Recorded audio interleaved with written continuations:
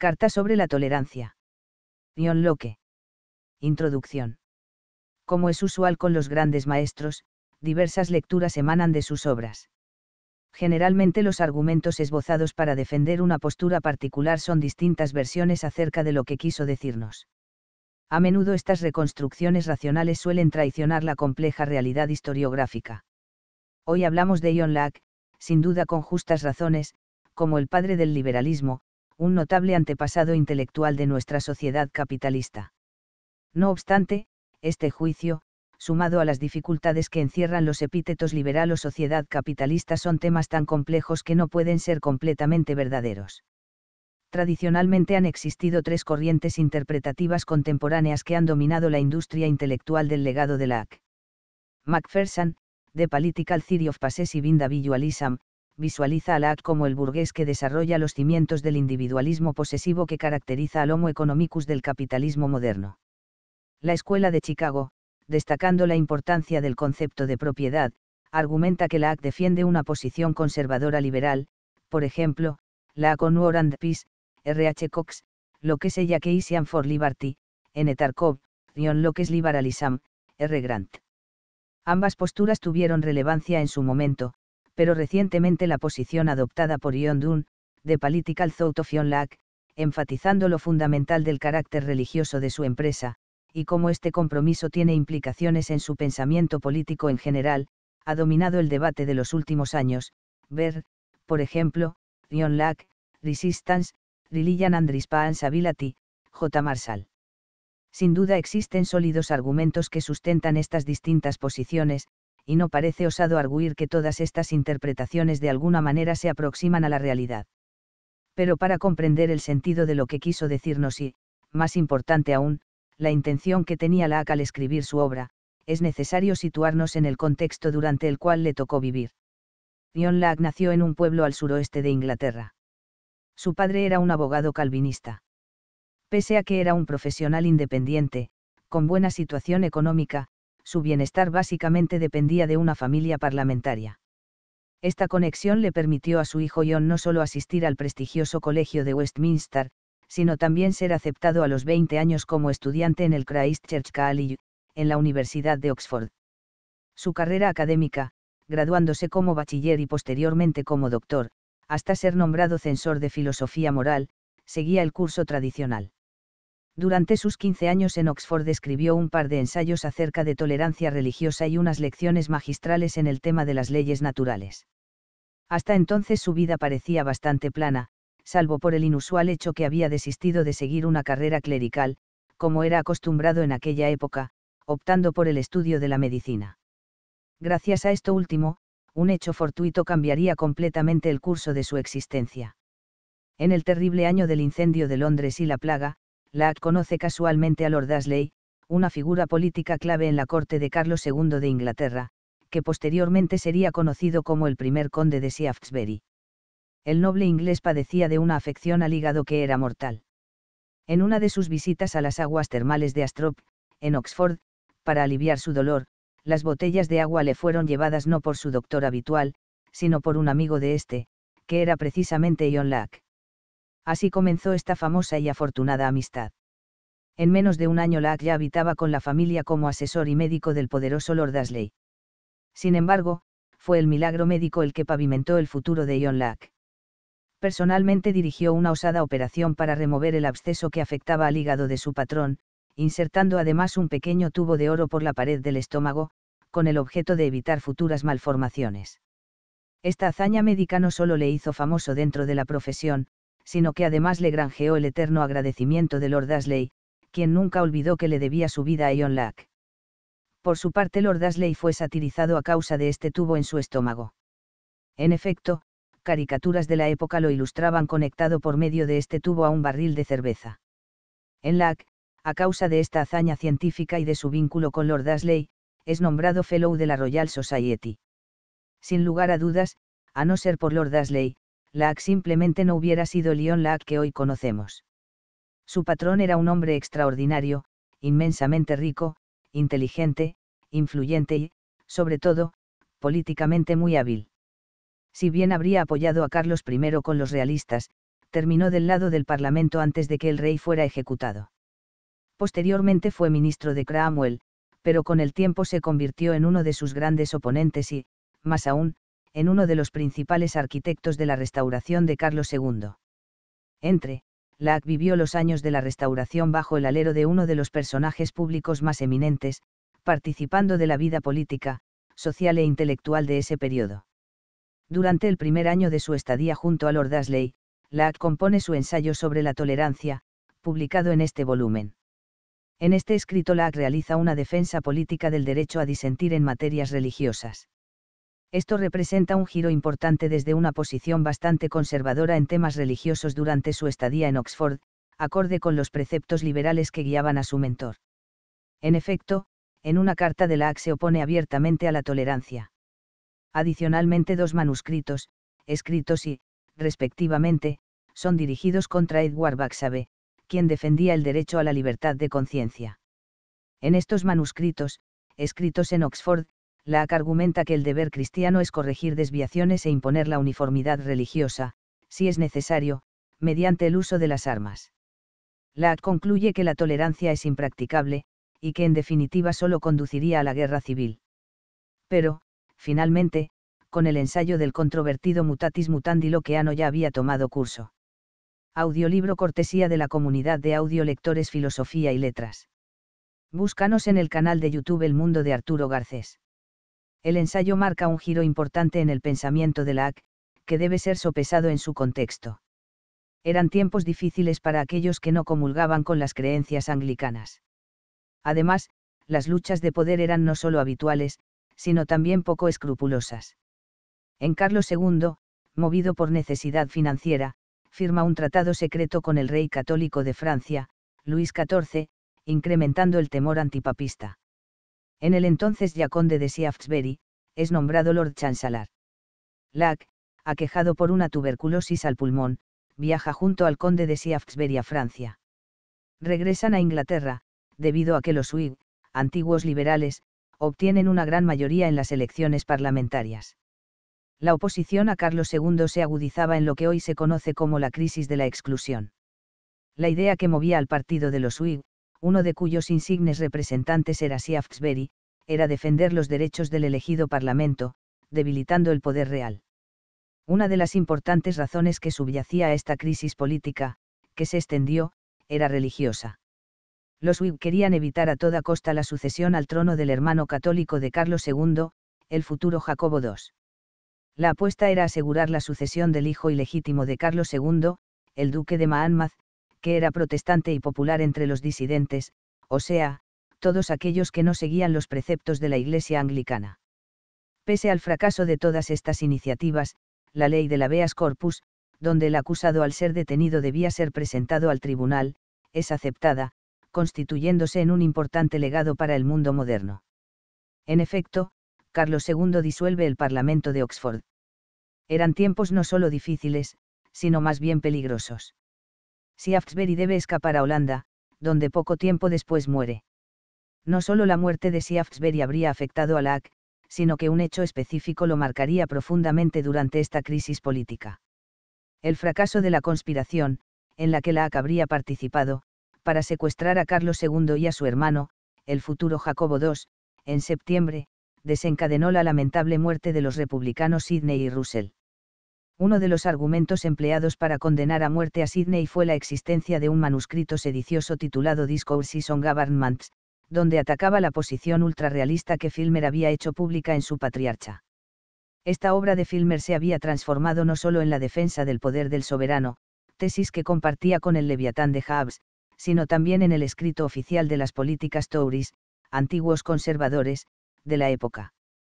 En ese entonces Locke, de acuerdo a los recientes descubrimientos del profesor Ashcroft, lo que es tu Treatise on Government, ya habría escrito sus dos tratados sobre el gobierno civil, el primer tratado entre, y el segundo entre, donde el foco de ataque también es Filmer. Ante la eventualidad de ser sorprendido encubriendo este escrito, que ciertamente habría sido considerado como un acto de sedición, en septiembre de la que escapa a Holanda. Poco tiempo después de huir al exilio fue removido, por orden real, de su posición en Oxford.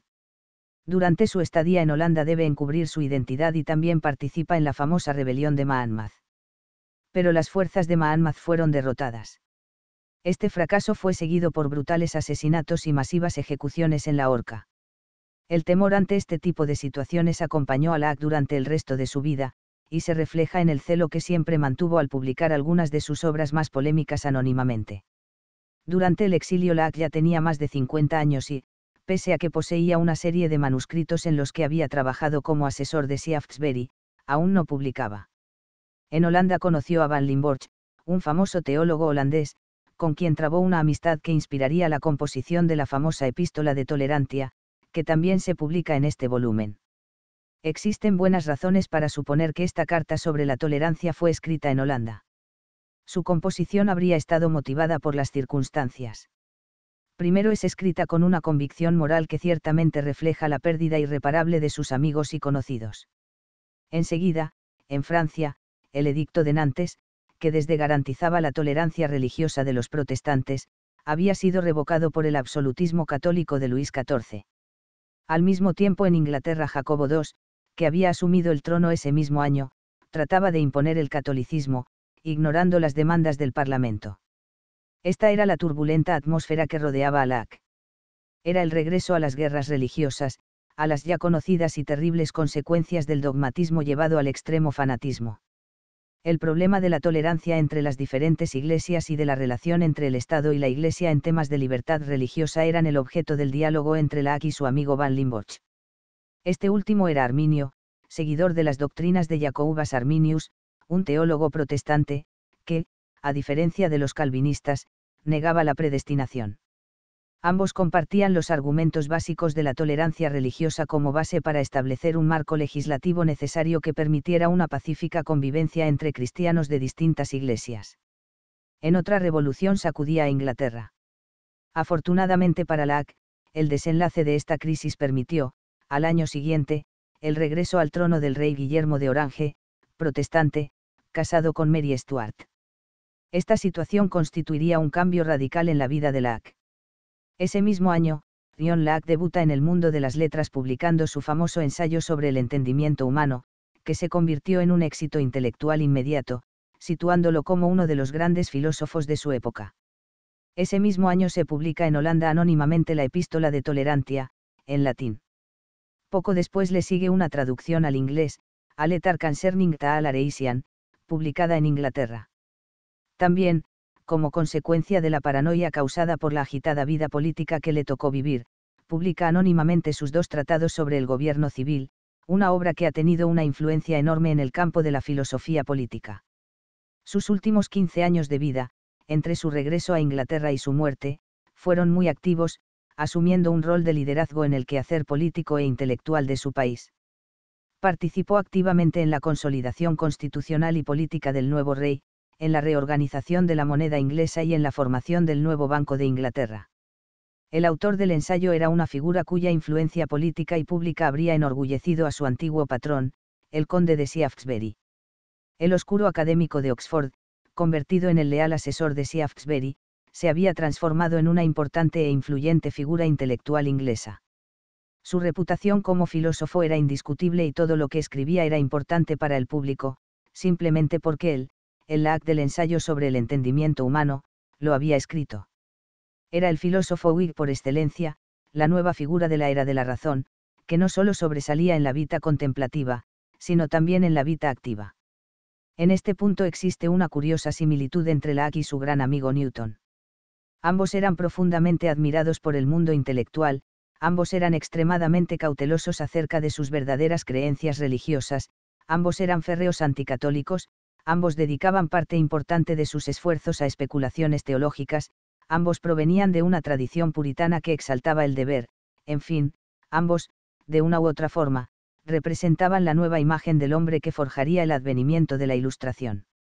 El profesor Ion Dunn, en su breve monografía LAC, concluye, si la Ilustración fue auténticamente su legado, escasamente fue el legado que él quiso dejarnos. Todos nosotros somos hijos de su fracaso el rango de sus especulaciones intelectuales cuenta, después de su exitoso debut, con un poderoso canal para alcanzar al público, la imprenta. En publica sus pensamientos sobre la educación. Sus escritos referentes a la nueva moneda en Inglaterra.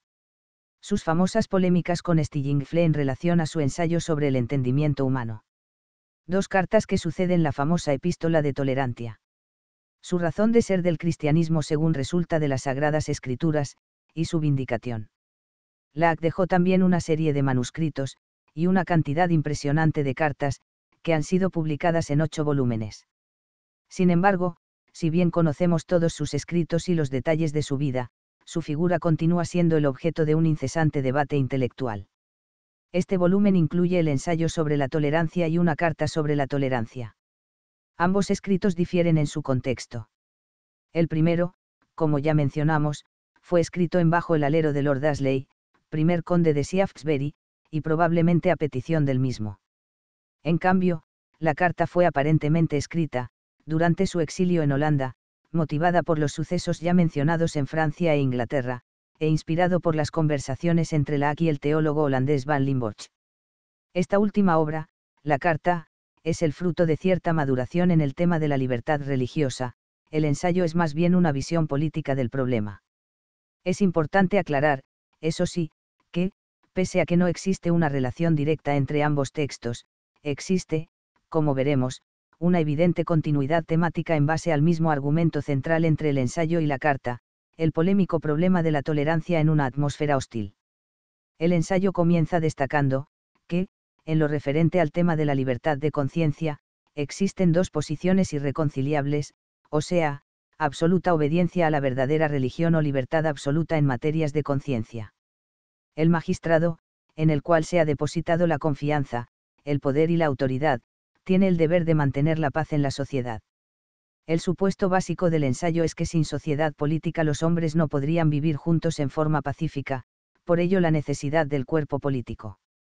Este argumento, siguiendo la línea hobbesiana, es contrario a la idea del Bon Savage posteriormente desarrollada por Rousseau. Así, tanto para Hobbes como para Locke, el fin de la sociedad política debe ser el mantenimiento de la paz y seguridad. Este supuesto, aunque similar al contrato social hobbesiano, difiere en varios puntos. El fin de ambos es el mismo, la paz y la seguridad de la comunidad, pero la forma de lograrlo es diferente. El leviatán de Hobbes, a partir del estado de naturaleza de guerra de todos contra todos, posee poder absoluto, incluso en materias eclesiásticas. El magistrado de la carece de tan amplias facultades. Su deber simplemente es asegurar la paz civil y la propiedad de los ciudadanos. En fin, no parece aventurado sugerir que, si ambos abogan por la paz, el llamado de Hobbes es más desesperado. No debemos olvidar tampoco que la publicación del Leviatán produjo un revuelo de proporciones en el mundo eclesiástico. La sugerencia de que no solo el poder político, sino también el poder eclesiástico caía en manos del magistrado, le granjeó a Hobbes la enemistad del mundo religioso. Por tanto, el epíteto de Hobbist, durante la segunda mitad del siglo XVII y gran parte del siglo XVIII, mantuvo un carácter más que peyorativo. Implícitamente encerraba lo que en ese entonces era considerado más que un insulto, o sea, la idea de ateísmo. En efecto, cuando Newton, víctima de su depresión, escribe en medio de su delirio aquella famosa carta a su amigo Locke, lo acusa ni más ni menos que de vista. Para Locke el papel del magistrado es claro, la preservación de la vida. Cualquier acción coercitiva solo debe justificarse ante la eventualidad de este dicho. Esta nueva doctrina sugiere que el magistrado no debe entrometerse en asuntos eclesiásticos, limitando el campo de su jurisdicción. Al gobierno civil le compete las relaciones entre personas dentro de la sociedad civil, los asuntos religiosos poseen otro carácter. Como venerar a Dios, la forma de los ritos y la importancia de estos, son todos temas ajenos al gobierno. El ámbito del gobierno se limita a lo secular, entendido como lo que se distingue de lo eterno, lo que no necesariamente implica un divorcio de la teología. La solución al problema es simple, el gobierno debe velar por la conducta en esta vida, pero no en la preparación a la próxima, que es un asunto completamente personal. La autoridad debe proteger la sociedad, pero en este mundo. En definitiva, la solución radica en el reconocimiento del Estado como un ente secular, cuyo propósito no es velar por las creencias religiosas, sino velar por la vida presente. Hoy en día esta distinción parece trivial, pero entonces esta propuesta era considerada por muchos no solo contraria a los preceptos de la verdadera religión, sino más bien revolucionaria. El ambiente durante el cual Locke escribió el ensayo estaba marcado por el Conventicle Act, que había sido seguido por el Act of Uniformity y el Corporation Act. No solo se prohibía a aquellos que no comulgaran con los principios anglicanos, los llamados disidentes, de ejercer autoridad pública alguna, sino que también prescribía penas civiles contra estos. Esta serie de medidas se fueron haciendo cada vez más estrictas. Su aplicación y también justificación obedecía en parte a la creencia de que el incendio de Londres, la plaga y la derrota naval antes los holandeses eran el simple y tangible reflejo de la ira de Dios ante el pueblo inglés. La intención del ensayo debe ser comprendida como una reacción ante la creciente legislación a favor de imponer la uniformidad de culto, utilizando sanciones civiles.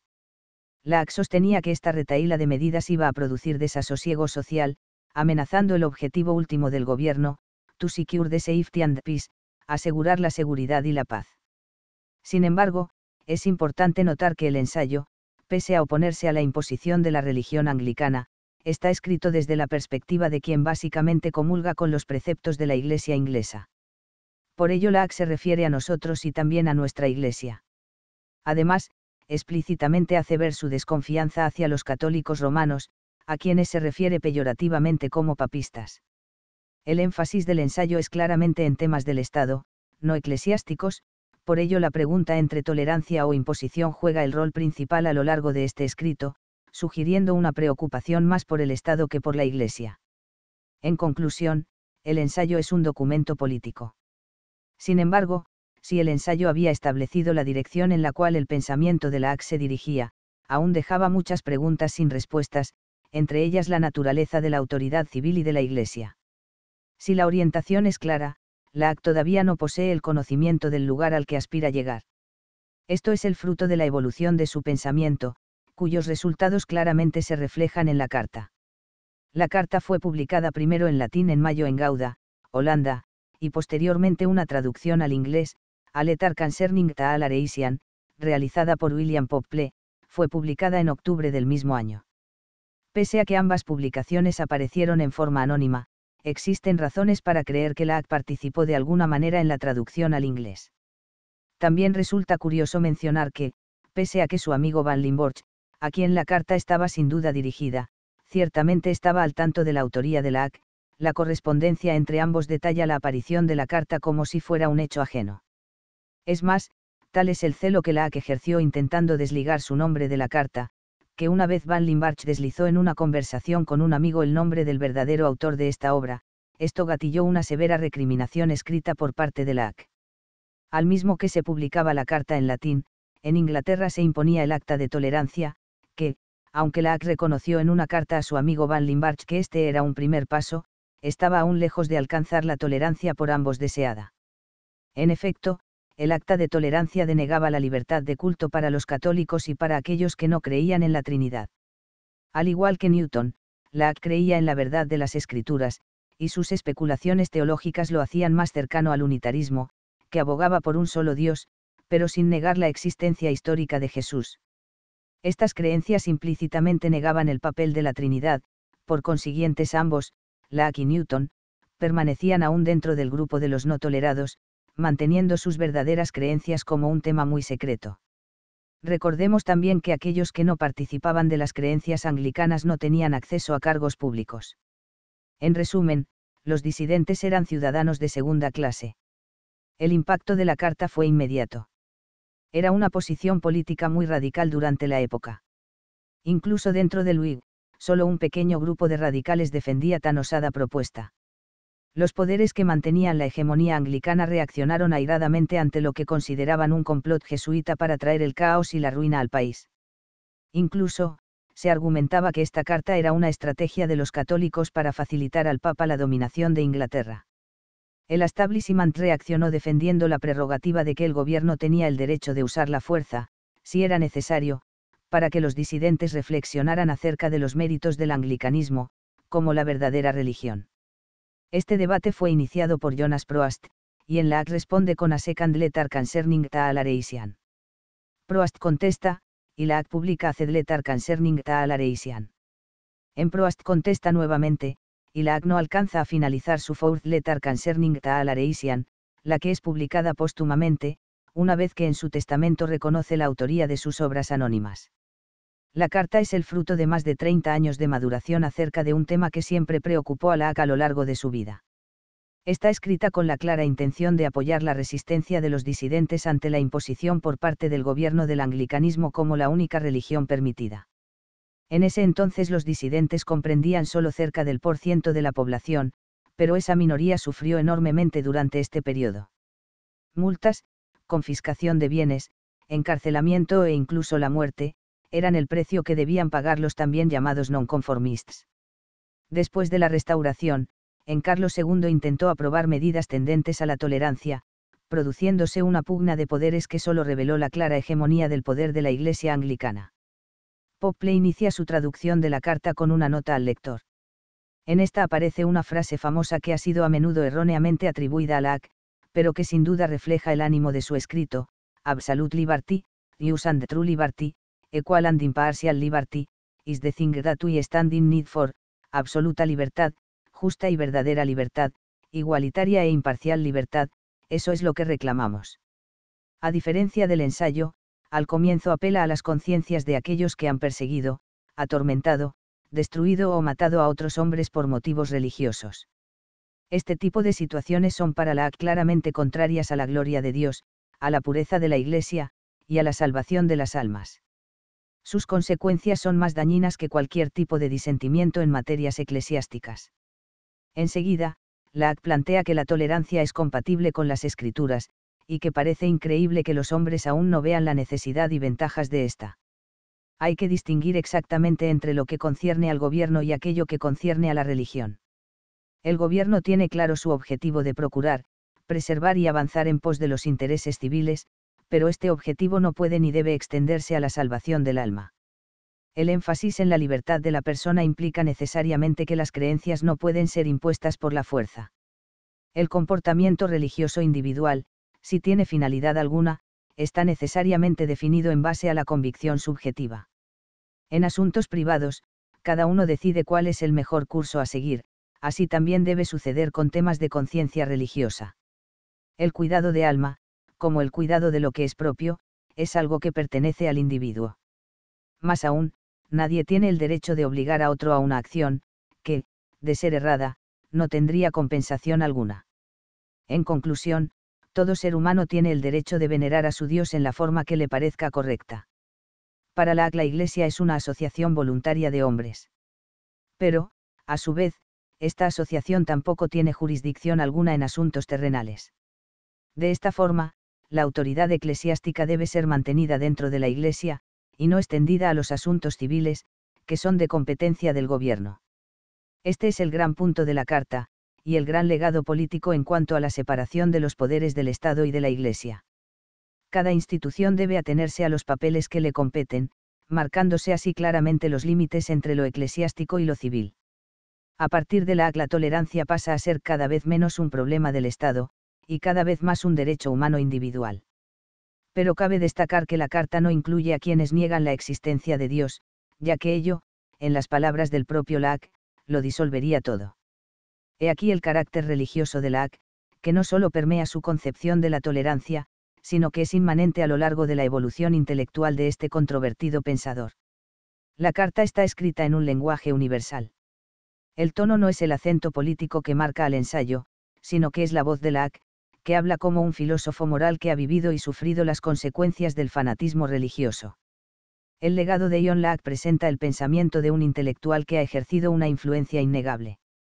En particular su defensa de la tolerancia, como respeto al derecho religioso individual, representa una llave fundamental para el desarrollo del mundo moderno. El lenguaje del deber pierde protagonismo frente al nuevo lenguaje del derecho. Una importante consecuencia de este giro ha sido el hecho de que el ciudadano puede finalmente dar a conocer la voz de su conciencia.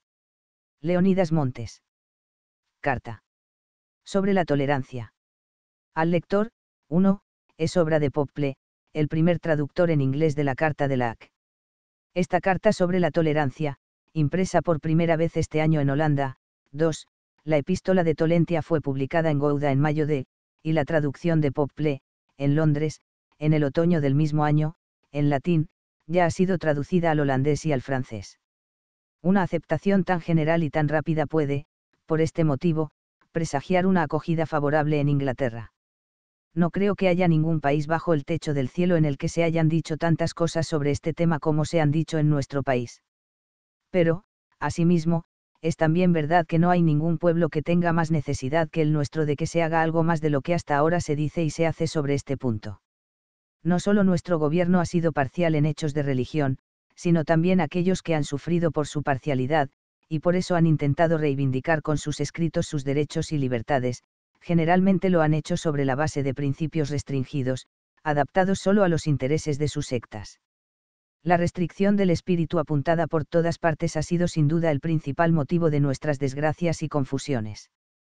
Pero, a pesar de las ocasiones que ha habido en el pasado, ha llegado el momento propicio para buscar una curación radical. Tenemos necesidad de remedios más eficaces de los empleados hasta ahora para nuestros achaques. No son las declaraciones de indulgencia, 3. La declaración de indulgencia era un acto real, con el que el soberano, valiéndose de la prerrogativa regia, prometía suspender, por lo menos en parte, las leyes vigentes, ni los actos de comprensión. 4. Fue aprobado un Taal Areisian Act, que reconocía el primado de la Iglesia de Inglaterra, pero garantizaba cierta tolerancia a los no conformistas, sin embargo excluía a los católicos, judíos, unitarios y ateos, los que se han llevado a la práctica o proyectado sobre nosotros hasta ahora, que pueden absolver esta función. El primero sería simplemente un paliativo de nuestro mal, el segundo lo acrecentaría. Libertad absoluta, libertad justa y verdadera, libertad igual e imparcial, es de lo que tenemos necesidad. Ahora bien, aunque se haya hablado mucho, sin embargo, yo dudo de que esto haya sido bien comprendido, y estoy convencido de que no ha sido practicado ni por los gobernantes con el pueblo en general ni por los disidentes entre ellos. No me queda más remedio que esperar que este discurso, que trata sobre este tema, aunque sea muy breve, sin embargo, con mayor precisión que cualquier otro de los que he visto hasta ahora, demostrando que la tolerancia es equitativa y practicable, sea considerado muy oportuno para todos los hombres que tienen el espíritu generoso suficiente para preferir el verdadero interés de lo público sobre el de un partido. He traducido este escrito a nuestra lengua precisamente para aquellos que tienen ese espíritu o para infundirlo en aquellos que no lo tienen todavía. Pero el escrito en sí es tan breve, que no soporta una introducción más larga. Lo dejo a la consideración de mis compatriotas, deseándoles de corazón que puedan hacer uso del mismo en la dirección en que está concebido. Ilustrísimo Señor. Ya que usted me pregunta qué pienso sobre la tolerancia mutua entre los cristianos, debo contestarle, con toda franqueza, que estimo que es la característica de la verdadera Iglesia. Aunque hay unos que vanaglorian de la antigüedad de sus lugares de culto y nombres o de la pompa de su culto, otros de la reforma de su doctrina. 5. La reforma de la doctrina se contrapone a la tradición, antigüedad de los lugares de culto y de los nombres, y a la pompa de las ceremonias, o sea, a los aspectos del catolicismo que típicamente se oponen a la religión reformada, y todos de la ortodoxia de su fe ya que cada uno se considera a sí mismo ortodoxo, estas y otras cosas de tal naturaleza son más señales de la lucha de los hombres contra sus semejantes por el poder y por la autoridad sobre ellos que de la Iglesia de Cristo. Si alguien posee todas estas cosas, pero está desprovisto de caridad, humildad y buena voluntad en general hacia todos los hombres sin distinción, no solo hacia los que se profesan cristianos, no es todavía un cristiano. Nuestro Salvador dice a sus discípulos, los reyes paganos ejercen su dominio sobre ellos, pero vosotros no debéis proceder así, San Lucas. La finalidad de la verdadera religión, que ha nacido no en función de una pompa exterior, ni para ejercer el dominio eclesiástico, ni tampoco para utilizar la fuerza, sino para regular la vida de los hombres con rectitud y piedad. Quien se aliste en la Iglesia de Cristo tiene, primero y, ante todo, que luchar contra sus propios vicios, contra su soberbia y contra su placer, pues de nada sirve usurpar el nombre de cristiano, si no practica la santidad de vida, la pureza de las costumbres, la humildad y bondad de espíritu. Nuestro Señor dijo a San Pedro, tú, una vez convertido, confirma a tus hermanos, San Lucas. Quien no se preocupa de su propia salvación sería muy difícil que persuada de que le interesa la de los demás, no puede dedicarse con todas sus fuerzas al trabajo de conducir a otros al cristianismo quien no ha acogido realmente en su ánimo la religión de Cristo. Si se da crédito al Evangelio y a los apóstoles, ningún hombre puede ser cristiano, si carece de caridad y de esa fe que actúa no por la fuerza, sino por el amor. Pues bien, yo apelo a la conciencia de aquellos que, con el pretexto de la religión, persiguen, torturan, destruyen y matan a otros hombres, y les pregunto si lo hacen por amistad y bondad hacia ellos, y creeré que esta es la disposición de ánimo con la que actúan, cuando vea que esos fanáticos enardecidos corrigen de la misma manera a sus amigos y familiares por los pecados manifiestos que cometen contra el Evangelio, cuando los vea perseguir a fuego y espada a los miembros de su propia comunión, que, estando manchados por enormes vicios y no se corrijan, se encuentran en peligro de perdición eterna, y, cuando los vea testimoniar, con toda clase de tormentos y crueldades, su amor por ellos y su deseo de salvar sus almas. Sí, como pretenden, por caridad y por deseo de salvar el alma de los demás, les quitan sus propiedades, los maltratan con castigos corporales, los matan de hambre, los torturan en malsanas y sucias prisiones y, finalmente, hasta les quitan la vida, para que tengan fe y se salven, porque entonces toleran que la prostitución, el fraude, la mala fe y otras cosas semejantes, que huelen abiertamente a paganismo, como dice el apóstol, Romanos, crecen impunemente entre sus secuaces. Estas cosas y otras semejantes son más incompatibles con la gloria de Dios, la pureza de la Iglesia y la salvación de las almas, que cualquier errónea convicción de la conciencia contraria a las decisiones eclesiásticas o que cualquier rechazo que concierne al culto externo, acompañado de una vida sin culpa.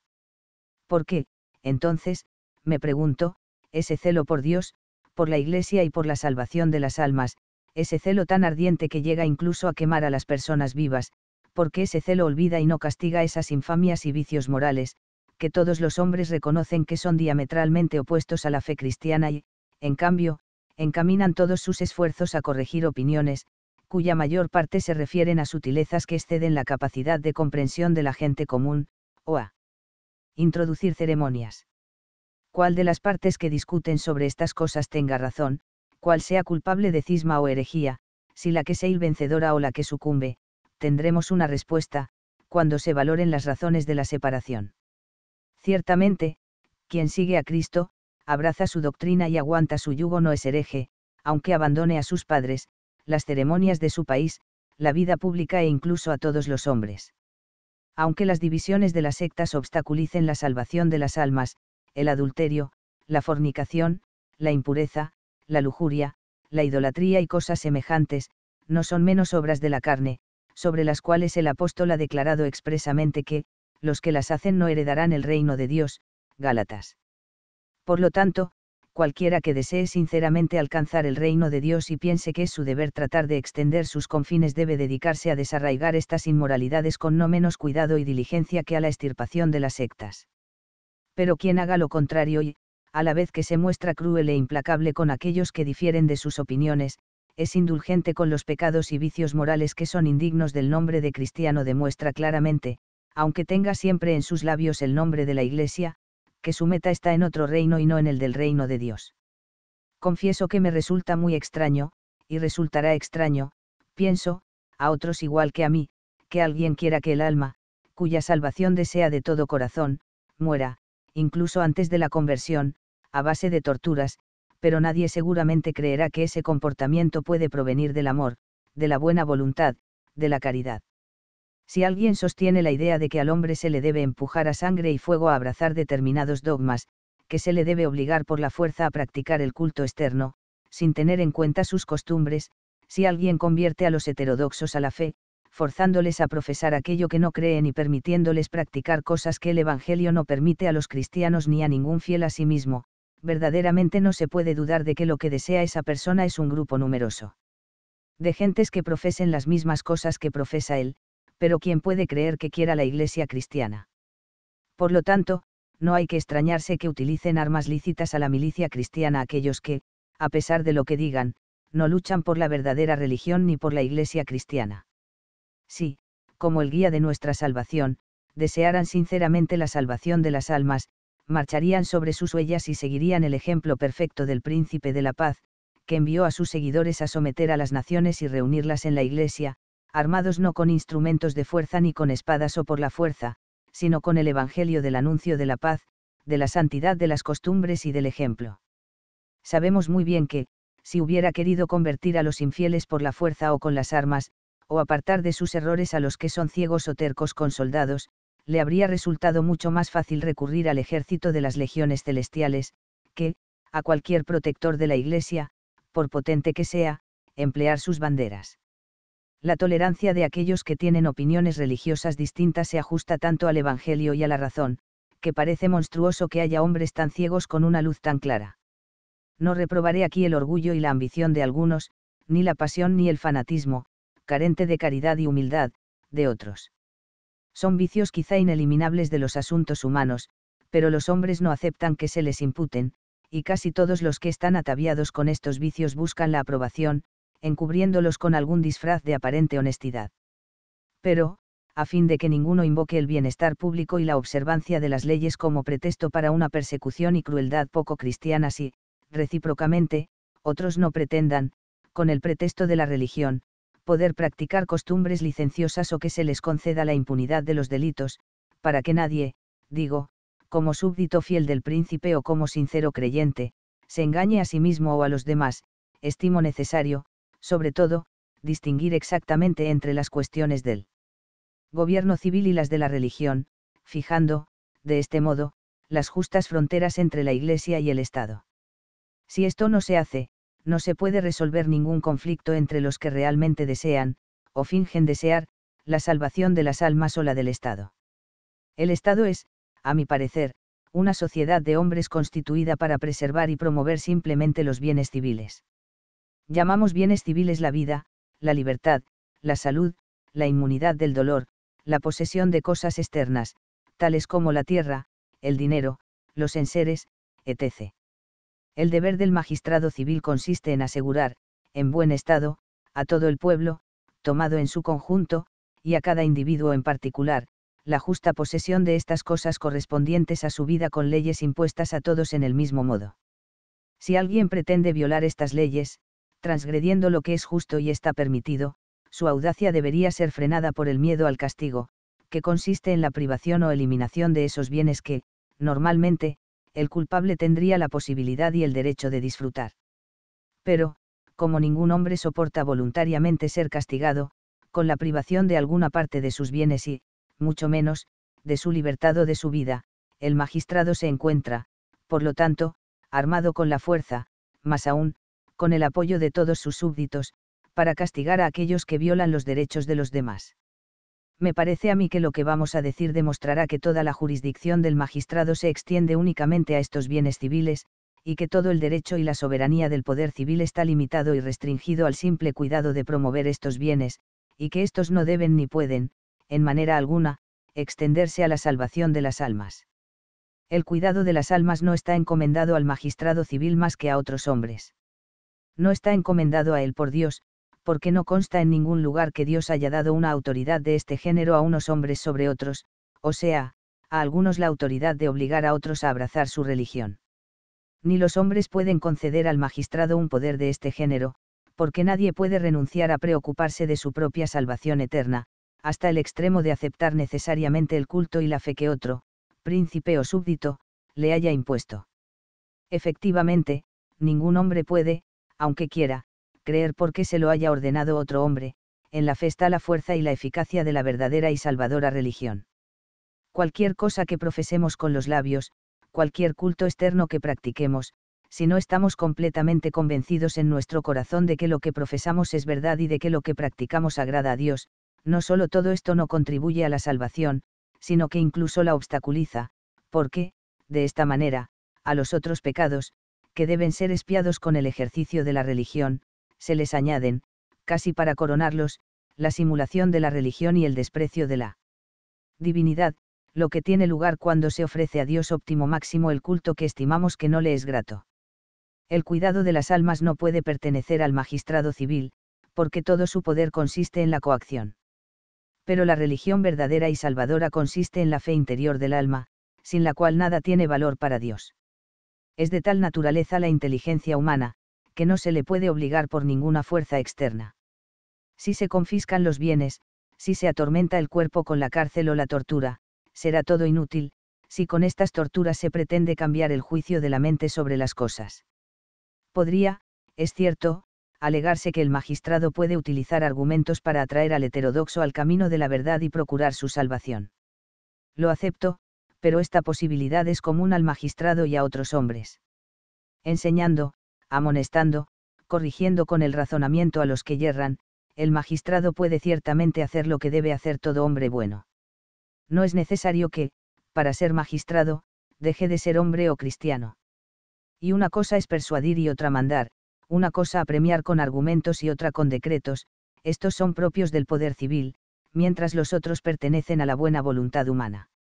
Todo mortal tiene pleno derecho a amonestar, exhortar, denunciar los errores y atraer a los demás con razonamientos, pero corresponde al magistrado ordenar con decretos, obligar con la espada. Queda claro lo que pretendo decir, el poder civil no tiene que prescribir artículos de fe o dogmas o formas de culto divino con la ley civil. Pues, efectivamente, las leyes no tienen fuerza, si a las leyes no se les añaden los castigos, pero, si se añaden los castigos, estos en este caso son ineficaces y poco adecuados para persuadir. Si alguien quiere acoger un dogma o practicar un culto para salvar su alma, tiene que creer con toda su alma que el dogma es verdadero y que el culto será grato y aceptado por Dios, pero ningún castigo está en modo alguno en grado de infundir en el alma una convicción de este género.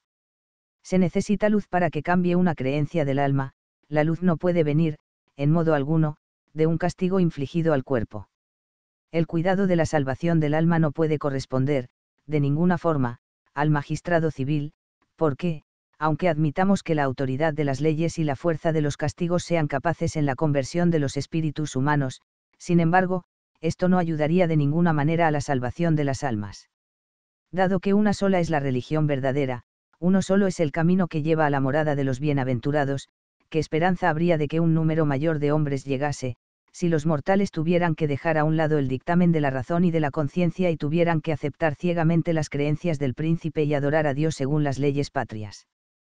Entre las distintas creencias religiosas que siguen los príncipes, el estrecho camino que conduce al cielo y la angosta puerta del paraíso necesariamente se abrirían para muy pocos, pertenecientes a una sola región, y lo más absurdo e indigno de Dios en todo este asunto sería que la felicidad eterna o el eterno castigo dependieran únicamente del lugar donde se hubiera nacido. Estas consideraciones, omitiendo muchas otras que podrían exponerse, me parecen suficientes para establecer que todo el poder del Estado se refiere a los bienes civiles, se limita al cuidado de las cosas de este mundo y nada tiene que ver con las cosas que esperan en la vida futura. Ahora consideremos que es una iglesia. Estimo que una iglesia es una sociedad libre de hombres que se reúnen voluntariamente para rendir culto público a Dios de la manera que ellos juzgan aceptable a la divinidad, para conseguir la salvación del alma. Digo que es una sociedad libre y voluntaria. Nadie nace miembro de una iglesia, de lo contrario, la religión de los padres y de los abuelos perviviría en cada hombre por derecho hereditario, lo mismo que sus propiedades, y cada uno debería su fe a su nacimiento, no se puede pensar nada más absurdo que esto. Las cosas, por tanto, están como sigue. El hombre, que por naturaleza no está obligado a formar parte de ninguna iglesia, ni ligado a una secta, entra de forma espontánea en la sociedad en la que cree haber encontrado la verdadera religión y el culto que agrada a Dios la esperanza de salvación que encuentra, siendo la única razón para entrar en la Iglesia, es también el criterio para permanecer en ella. Si con posterioridad descubre alguna cosa errónea en la doctrina o incongruente en el culto, tiene que tener siempre la posibilidad de salir de la Iglesia con la misma libertad con la que había entrado. Pues, en efecto, fuera de los que están unidos por la esperanza de la vida eterna, ningún otro vínculo puede ser indisoluble. Una Iglesia es, pues, una sociedad de miembros unidos voluntariamente para este fin. Tenemos que investigar ahora cuál es su poder y a qué leyes se tiene que someter. Puesto que ninguna sociedad, por libre que sea o por banal que haya sido el motivo de su constitución, sea de intelectuales con el fin de saber, de comerciantes para comerciar o de hombres ociosos para conversar y cultivar el espíritu, puede subsistir sin disolverse inmediatamente, si carece de todo tipo de ley, es necesario que también la Iglesia tenga sus leyes, para determinar los tiempos y lugares de reunión, las condiciones de aceptación y de exclusión y, finalmente, la diferencia de las cargas, el orden de las cosas y demás asuntos semejantes. Pero, dado que ella es una reunión libre, como se ha demostrado, libre de toda fuerza de coacción, se deduce necesariamente que el derecho de hacer las leyes no puede residir en nadie sino en la sociedad misma o en aquellos, pero es lo mismo, que la sociedad, con su consentimiento, ha autorizado.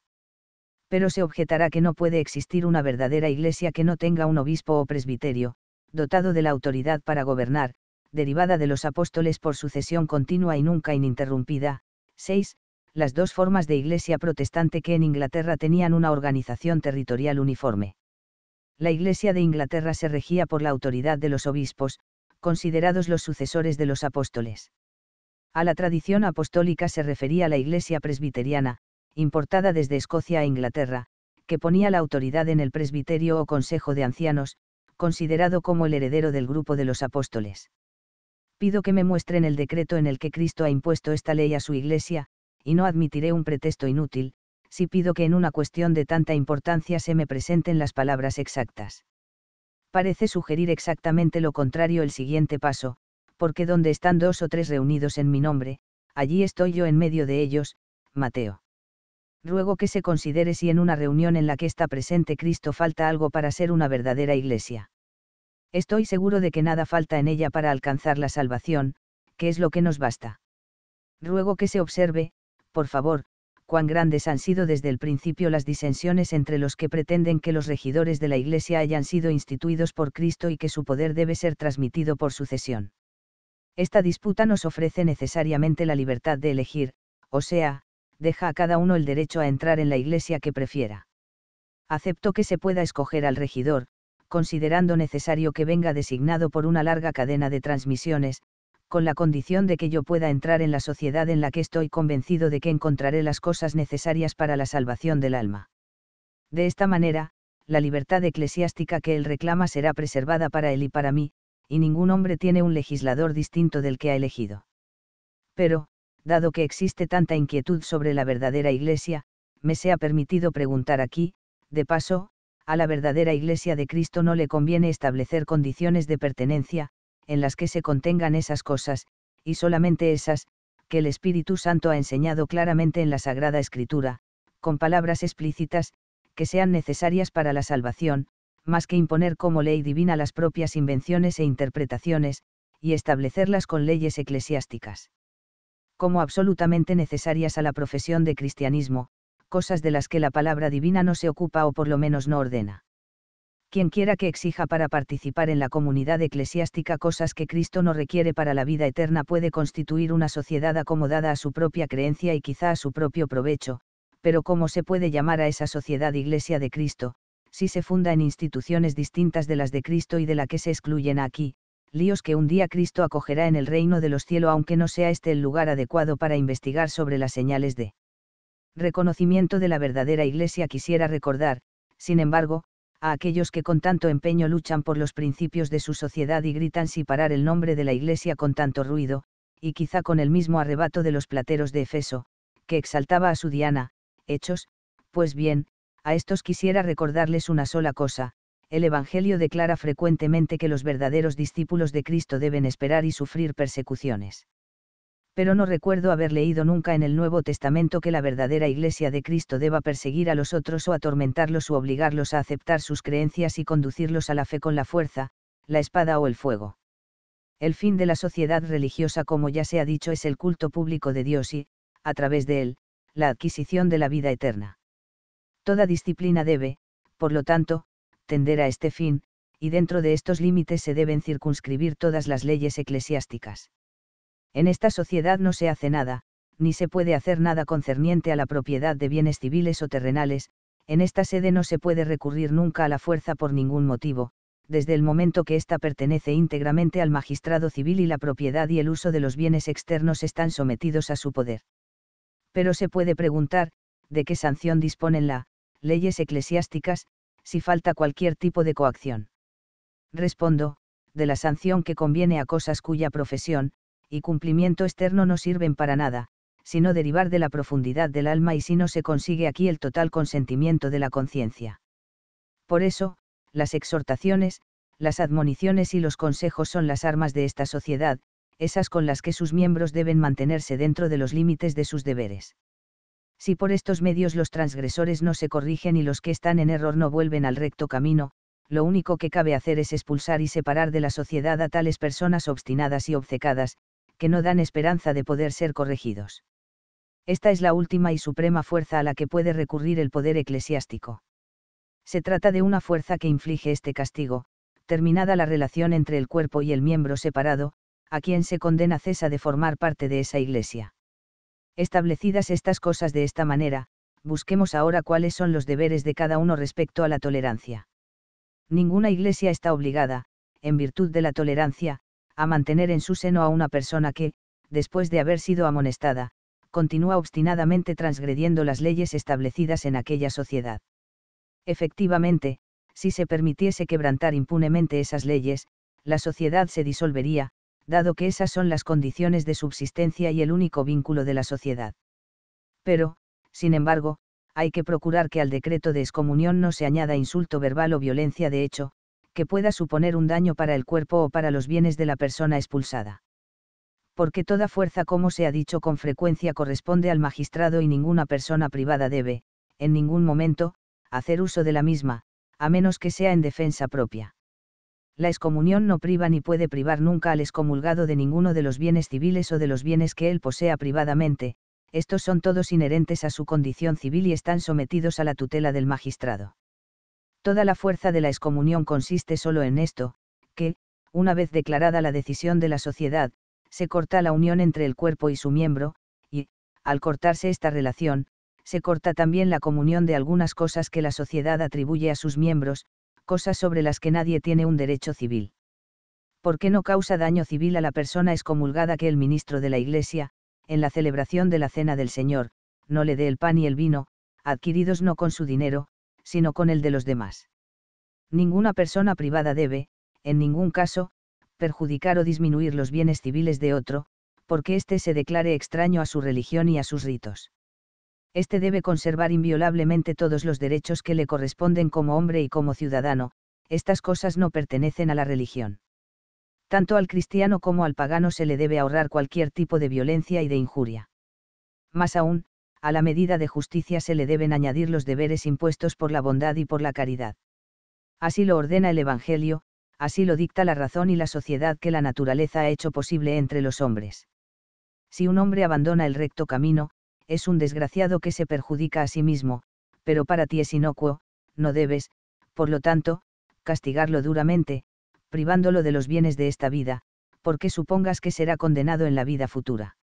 Lo que he dicho de la tolerancia recíproca entre personas privadas, que tienen creencias religiosas distintas, pretendo que valga para las iglesias particulares, que en sus relaciones mutuas son, de alguna manera, de las personas privadas, y una no tiene una potestad sobre la otra, ni siquiera en caso de que el magistrado civil, como a veces ocurre, pertenezca a una de ellas, ya que el Estado no puede atribuir ningún nuevo derecho a la Iglesia, como tampoco la Iglesia al Estado.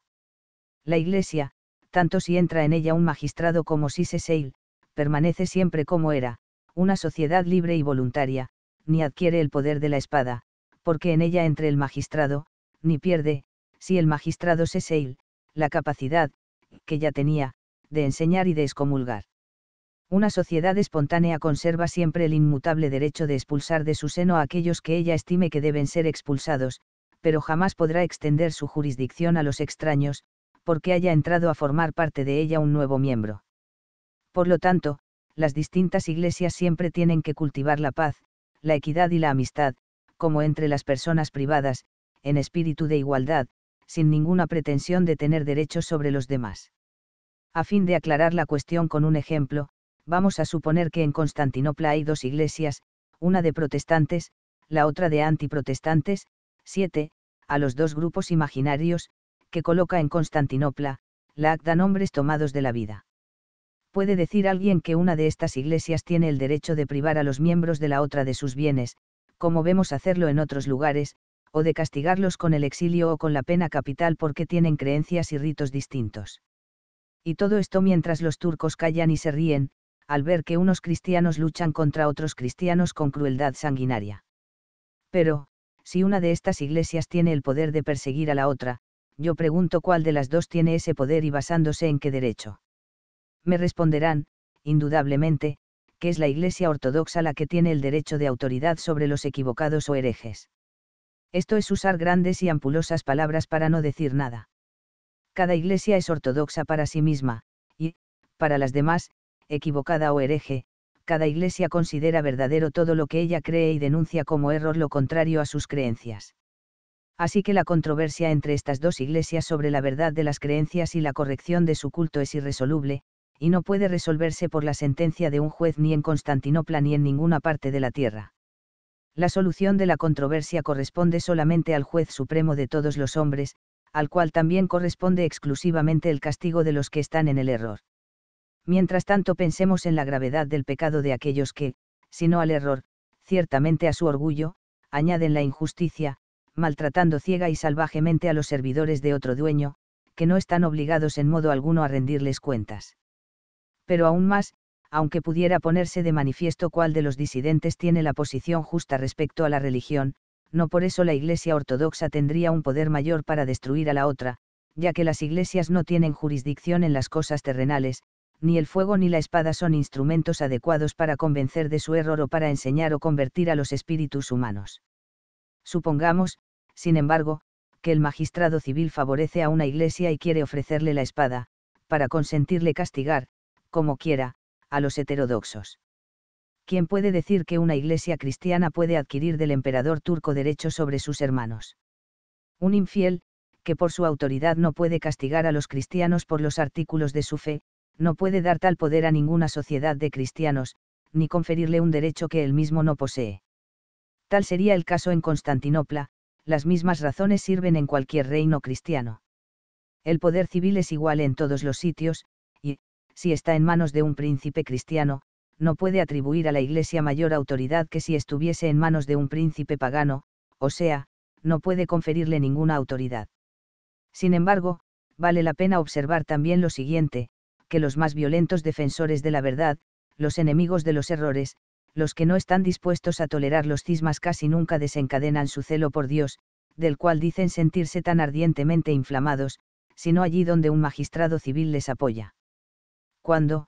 por el apoyo de un magistrado, tienen una fuerza superior, entonces la paz y la caridad cristianas deben ser violadas, en caso contrario, hay que cultivar la tolerancia mutua. Cuando tienen menos fuerza civil que sus adversarios, pueden soportar pacientemente y sin la menor conmoción el contagio de la idolatría, de la superstición y de la herejía a su alrededor, del cual, en otras ocasiones, tanto temen para ellos y para la religión no atacan abiertamente los errores que están de moda en la corte o gustan al magistrado. Mientras denunciar los errores es el único método para difundir la verdad, cuando al peso de las razones y de los argumentos se une la cortesía y las buenas maneras.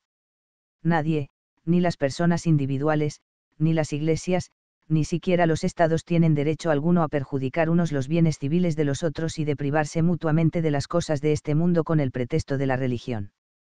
aquellos que opinan de otra manera harían bien en considerar la infinidad de razones de guerra y de enfrentamientos, las provocaciones para la violencia, para las matanzas, para los odios eternos que suministran así a la humanidad. Ni la paz, ni la seguridad, ni siquiera la amistad común pueden establecerse o preservarse entre los hombres mientras prevalezca la opinión de que el dominio se funda en la gracia y que la religión ha de ser propagada por la fuerza y con las armas veamos lo que el deber de la tolerancia exige de aquellos que se distinguen del resto de la humanidad, de los seglares, como solemos llamarlos, por algún carácter o dignidad eclesiásticos, ya se trate de obispos, sacerdotes, presbíteros, ministros o con cualquier otro nombre con que ellos se presenten. No es el lugar adecuado para hablar sobre el origen del poder o de la dignidad eclesiástica.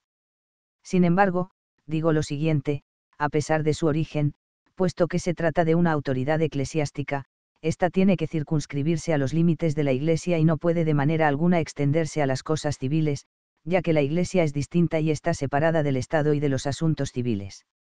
Las fronteras en ambos casos son fijas e inamovibles.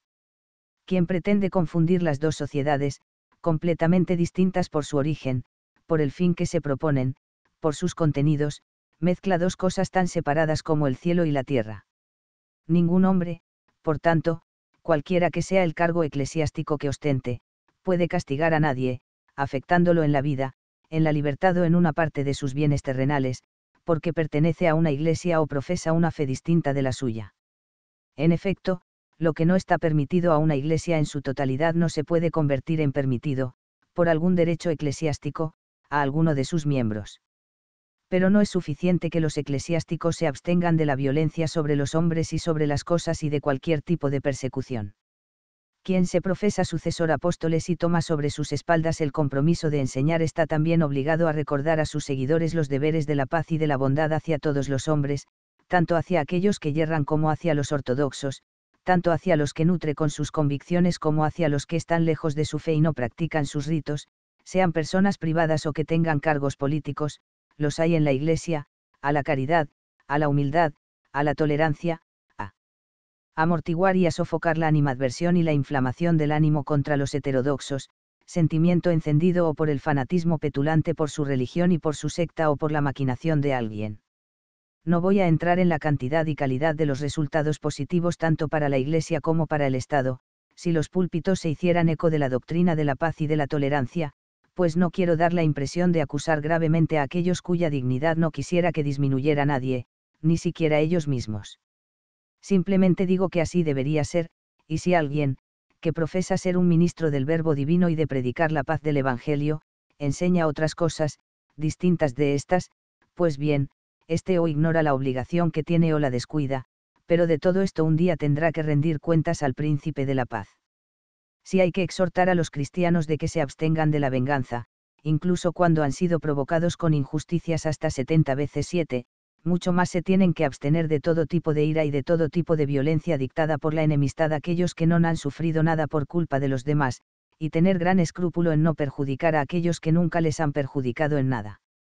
Sobre todo, tienen que tener mucho cuidado de no perturbar a aquellos que solo se ocupan de sus asuntos, que simplemente se preocupan de adorar a Dios de la forma que, prescindiendo de la opinión de los hombres, consideran que debería ser la más aceptable posible para Dios y abrazan la religión que les da la mayor esperanza de salvación eterna. Cuando se trata de asuntos y bienes familiares o de la salud, cada persona tiene pleno derecho a decidir por sí mismo qué le conviene hacer, y le está permitido seguir lo que a su juicio es lo mejor. Nadie se queja de la mala administración de la familia del vecino, nadie se enfada con el que se equivoca cuando siembra sus campos y al entregar como esposa a su hija, nadie corrige a quien se come el dinero en la taberna. Destruya, construya, gaste según su criterio, nadie protesta, todo está permitido. Pero, si no frecuenta el templo público, si allí no se inclina de la forma adecuada, si no obliga a sus hijos a que se inicien en los misterios de esta o de aquella iglesia, entonces hay murmullo, clamor, acusación, cada uno ya está preparado para vengar este gran delito, y con algunas dificultades los fanáticos se frenan para no pegarle o despojarle de todo a la espera de que se le conduzca ante los jueces, para que le condenen a la cárcel y a muerte o a la confiscación de los bienes para venderlos en almoneda. Los predicadores eclesiásticos de cualquier secta se enfrentan y combaten los errores de los otros con toda la fuerza de los argumentos de que son capaces, pero respetan a las personas. Pero, si sus argumentos no tienen fuerza, no empuñen instrumentos que no les pertenecen, que son de otra jurisdicción y que no tienen que ser manejados por eclesiásticos, no invoquen, en ayuda de su elocuencia y de su doctrina, las insignias y la fuerza del magistrado, podría suceder que, mientras ellos enarbolan la bandera de su amor por la verdad, su celo demasiado entusiasta de la espada y del fuego, desvelen su ambición de poder. Porque será muy difícil persuadir a los hombres razonables de que se desea con todas las fuerzas y con total sinceridad salvar a su hermano en la vida futura y ponerle al reparo del fuego eterno, cuando, sin una lágrima y con total adhesión, lo entrega vivo al verdugo para que lo queme. Por último, veamos ahora cuáles son los deberes del magistrado en materia de tolerancia. Se trata ciertamente de deberes muy importantes. Ya hemos probado que el cuidado de las almas no corresponde al magistrado, quiero decir, el cuidado de las almas que se explicite mediante el ejercicio de la autoridad, si así se puede llamar, o sea, que se ejerza con órdenes dadas mediante leyes y con obligaciones que se defienden con castigos, porque el cuidado de las almas que se explicite con la caridad, o sea, enseñando, exhortando, persuadiendo, no se puede negar a nadie. El cuidado, por tanto, del alma de cada hombre le corresponde a él mismo y se le debe dejar solo. Se puede uno preguntar, ¿y si es negligente? Yo respondo, ¿qué pasa si no se preocupa de su salud o de la administración de su patrimonio? Todas cosas cercanas a la jurisdicción del magistrado.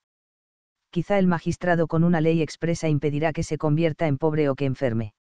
Las leyes, en la medida de lo posible, intentan proteger los bienes y la salud de los súbditos de la fuerza o del engaño ajenos, no de la negligencia o de la mala administración del propietario. A ningún hombre se le puede obligar a ser rico o a estar sano contra su voluntad. Ni el mismo Dios salvará a los hombres que no quieren ser salvados.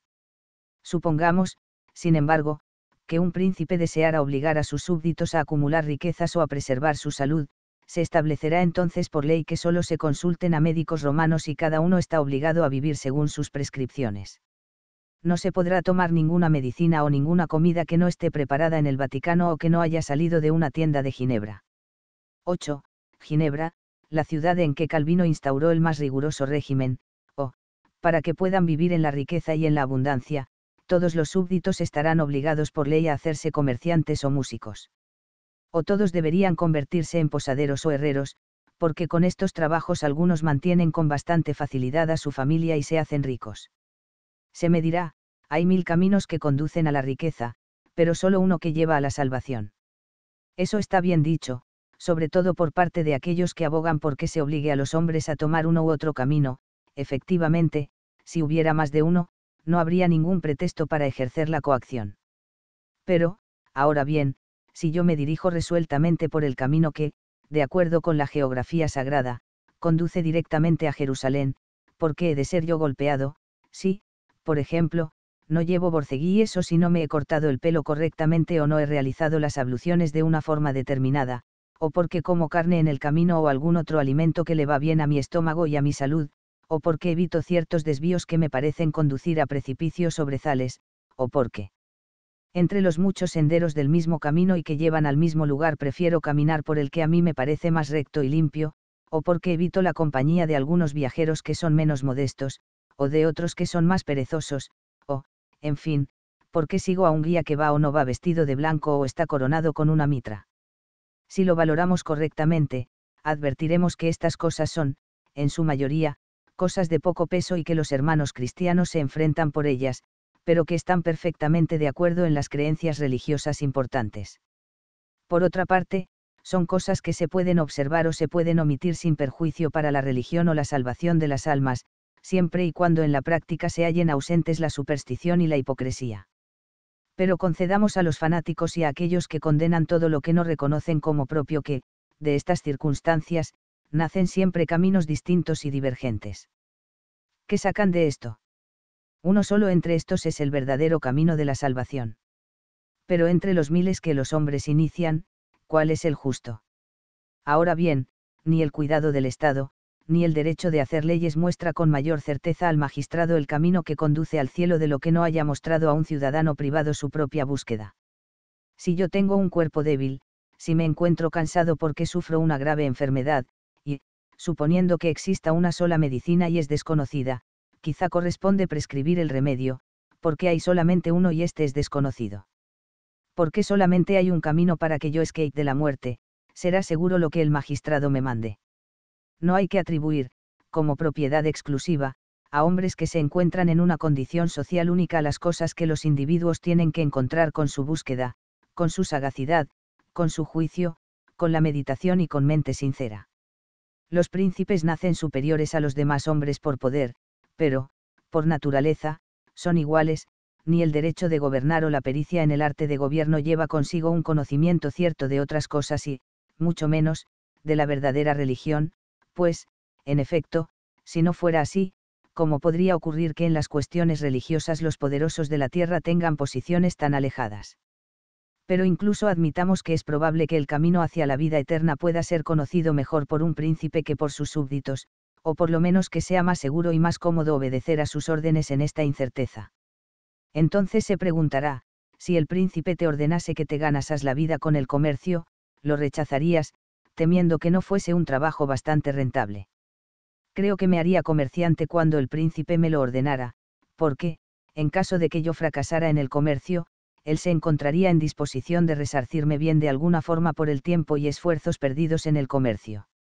Si de verdad, como pretende, quiere alejar de mí el hambre y la pobreza, puede hacerlo con facilidad, incluso cuando una racha desgraciada ha destruido todos mis bienes. Pero esto no sucede en las cosas que conciernen a la vida futura. Si realizo mal mis inversiones, si me encuentro desesperado, el magistrado no podrá reparar mis pérdidas, aliviar mi sufrimiento, ni devolverme siquiera una parte, ni mucho menos reintegrarme lo que he perdido. ¿Qué garantía puede darme por el reino de los cielos? Quizá usted diga que no al magistrado civil, pero a la Iglesia le atribuimos un juicio verdadero sobre las cosas sagradas, un juicio que todos tienen que seguir. El magistrado civil ordena que todos observen lo que la Iglesia ha determinado y, con su autoridad, pretende que nadie actúe o crea, en las cosas sagradas, algo distinto de lo que la Iglesia enseña. Así que el juicio de esas cosas corresponde a la Iglesia, a la que el mismo magistrado le debe obediencia y requiere igual obediencia que a los otros. Quien no ve cuán frecuentemente el nombre de la Iglesia, venerable en tiempo de los apóstoles, ha sido usado para engañar a la gente en los siglos sucesivos. En este asunto, por lo menos, recurrir a la Iglesia no nos ayuda nada. Yo sostengo que el único y estrecho camino que conduce hacia el cielo no es mejor conocido por el magistrado que por las personas particulares, por lo tanto, yo no puedo seguir sin peligros a un guía que, dado que puede desconocer el camino, como lo desconozco yo, está ciertamente menos interesado en mi salvación que yo mismo. Entre los muchos reyes de los judíos, a cuántos de ellos un verdadero israelita habría podido seguir sin que le condujeran a la idolatría, lejos del verdadero culto de Dios, destinado a caer en la ruina por la obediencia ciega a su rey. Se me pide que esté tranquilo, que todo está seguro y a salvo, porque el magistrado hace observar a su pueblo no los decretos religiosos suyos, sino los de la Iglesia y se limita a reforzarlos con un castigo civil, pero yo me pregunto, ¿de qué Iglesia? Sin duda de la que le gusta al príncipe. Como si el que me obliga a entrar en esta o en aquella iglesia con los castigos, con la fuerza, no interpusiera su propio juicio en tema de religión. ¿Qué diferencia hay entre que él me guíe o me entregue a otros para que me guíen? De ambas maneras dependo de su voluntad y es él quien determina, en ambos casos, mi salvación. Habría sido más tranquilizador para un israelita, obligado por la ley del rey a adorar a Baal, 9. Baal era divinidad masculina adorada entre los cananeos, cuyo culto idolátrico se difundió también, porque alguien le hubiera dicho que el rey no ordenaba nada en religión por su propia autoridad ni mandaba a sus súbditos en materia de culto divino hacer nada más que lo que había aprobado el Consejo de Sacerdotes y los santos de su religión habían declarado ser derecho divino.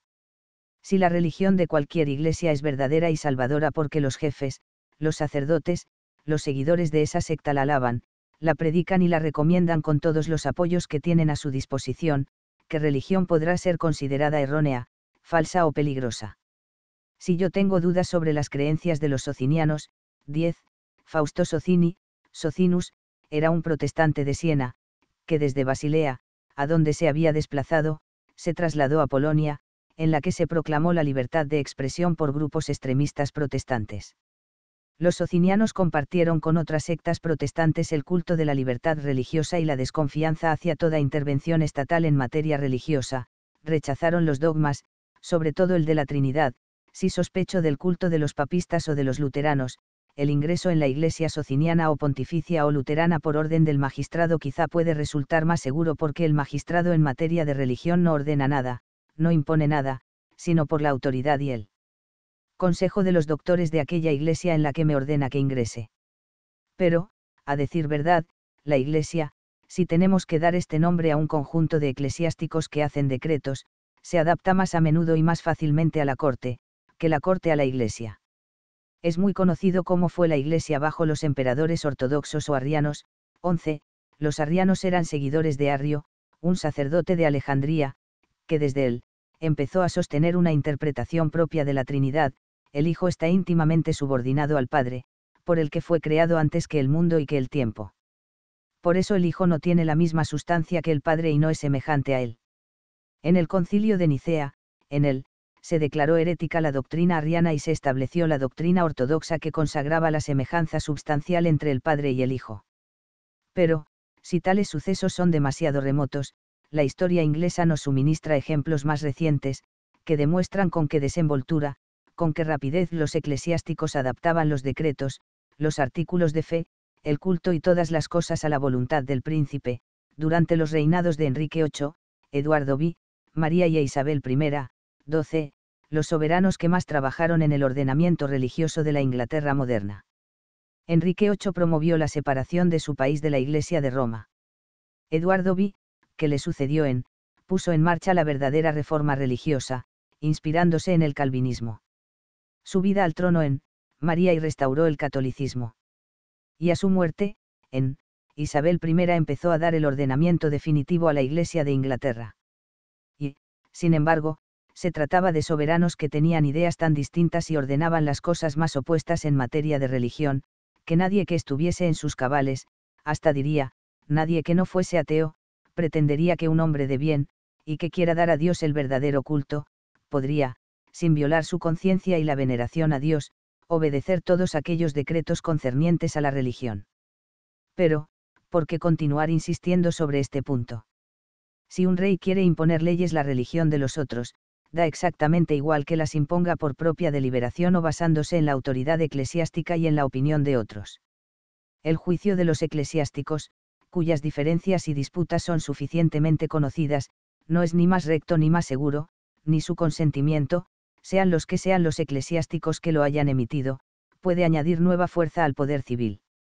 aunque también debe tenerse en cuenta que los príncipes suelen hacer caso omiso de los pareceres y sufragios de los eclesiásticos que no apoyan la fe que ellos aceptan y el culto que ellos practican.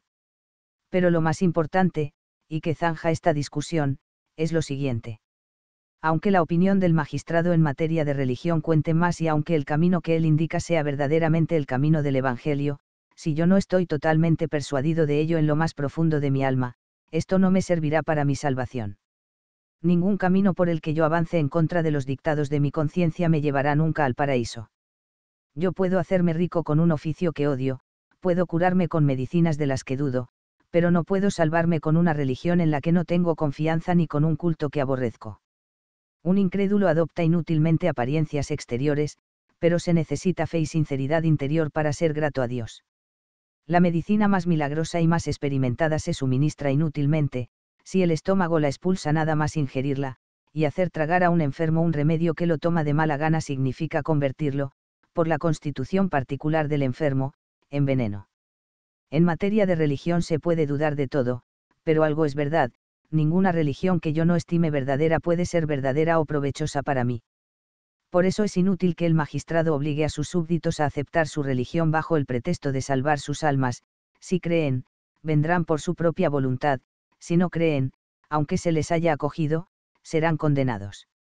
Por mucho que se presuma de la buena voluntad con los demás, por mucho que se trabaje en su salvación, al hombre no se le puede obligar a salvarse hecho todo lo que se podía, hay que dejarle consigo y con su conciencia. De esta forma tenemos finalmente hombres que, en materia de religión, son libres uno del dominio del otro. ¿Qué deben hacer? Todos los hombres saben y reconocen que Dios debe ser adorado públicamente, porque, si no, se reunirían públicamente para este fin. Entre estos hombres libres hay que introducir una sociedad eclesiástica, para que puedan reunirse no solamente para la edificación mutua, sino para atestiguar públicamente que adoran a Dios y que ofrecen a la divinidad un culto del que no se avergüenzan y que no consideran que sea desagradable a Dios o indigno de él, para atraer a otros al amor de la religión y de la verdad con la pureza de doctrina, con la santidad de vida, con la modestia y la decencia de los ritos y para realizar aquellas cosas que no podría lograr cada hombre privado por sí solo.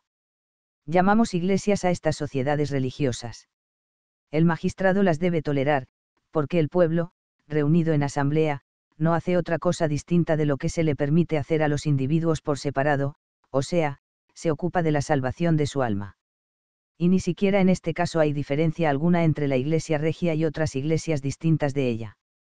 pero, como en cada iglesia hay que tener en cuenta sobre todo dos cosas, o sea el culto externo, esto es, los ritos, y las creencias, conviene discutir por separado estas dos cosas, para aclarar mejor la cuestión de la tolerancia en general. El magistrado no puede imponer con la ley civil ritos eclesiásticos o ceremonias de culto divino ni en su iglesia ni mucho menos en la iglesia de otros. Y esto no solo porque las iglesias son sociedades libres, sino porque todo lo que se ofrece a Dios en el culto tiene una razón de ser solo en la medida en que se considera cosa grata a Dios por parte de los que lo practican. Lo que no se haga con esta convicción no está permitido, ni puede ser aceptable a Dios. Es contradictorio que al que se le concede la libertad de religión, cuyo fin es agradar a Dios, se le mande disgustar a Dios precisamente con el culto. Se me podría decir, niegas que el magistrado tiene poder en las cosas indiferentes, ese poder que todos le conceden. Y, si se le quita, ¿qué materia le queda para legislar? Admito que las cosas indiferentes, y quizás solo estas, están sometidas al poder legislativo. De esto, sin embargo, no se deduce que el magistrado pueda ordenar lo que le plazca respecto a cualquier cosa indiferente. La utilidad pública es la regla y la medida de las leyes que se deben promulgar.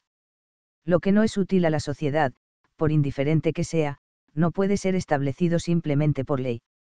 Las cosas que, aunque sean indiferentes por su naturaleza, se trasladan a la esfera de la Iglesia y del culto divino se ponen fuera de la jurisdicción del magistrado, porque, cuando así se utilizan, no tienen ninguna relación con las cosas civiles. Cuando se trata solo de la salvación de las almas, que se practique este o aquel rito no interesa ni a los vecinos ni a la sociedad. La realización o la omisión de alguna ceremonia en las asambleas religiosas no perjudica ni puede perjudicar la vida, la libertad, las riquezas de los demás. Por ejemplo, supongamos que lavar a un niño con agua nada más nacer es en sí mismo una cosa indiferente, supongamos también que le esté permitido al magistrado prescribir ese acto con una ley, porque entiende que ese lavado es útil para curar o prevenir alguna enfermedad a la que los niños recién nacidos están expuestos, o que estime el asunto suficientemente importante para que se trate por medio de una ley, habría alguien dispuesto a sostener que, por el mismo derecho, el magistrado podría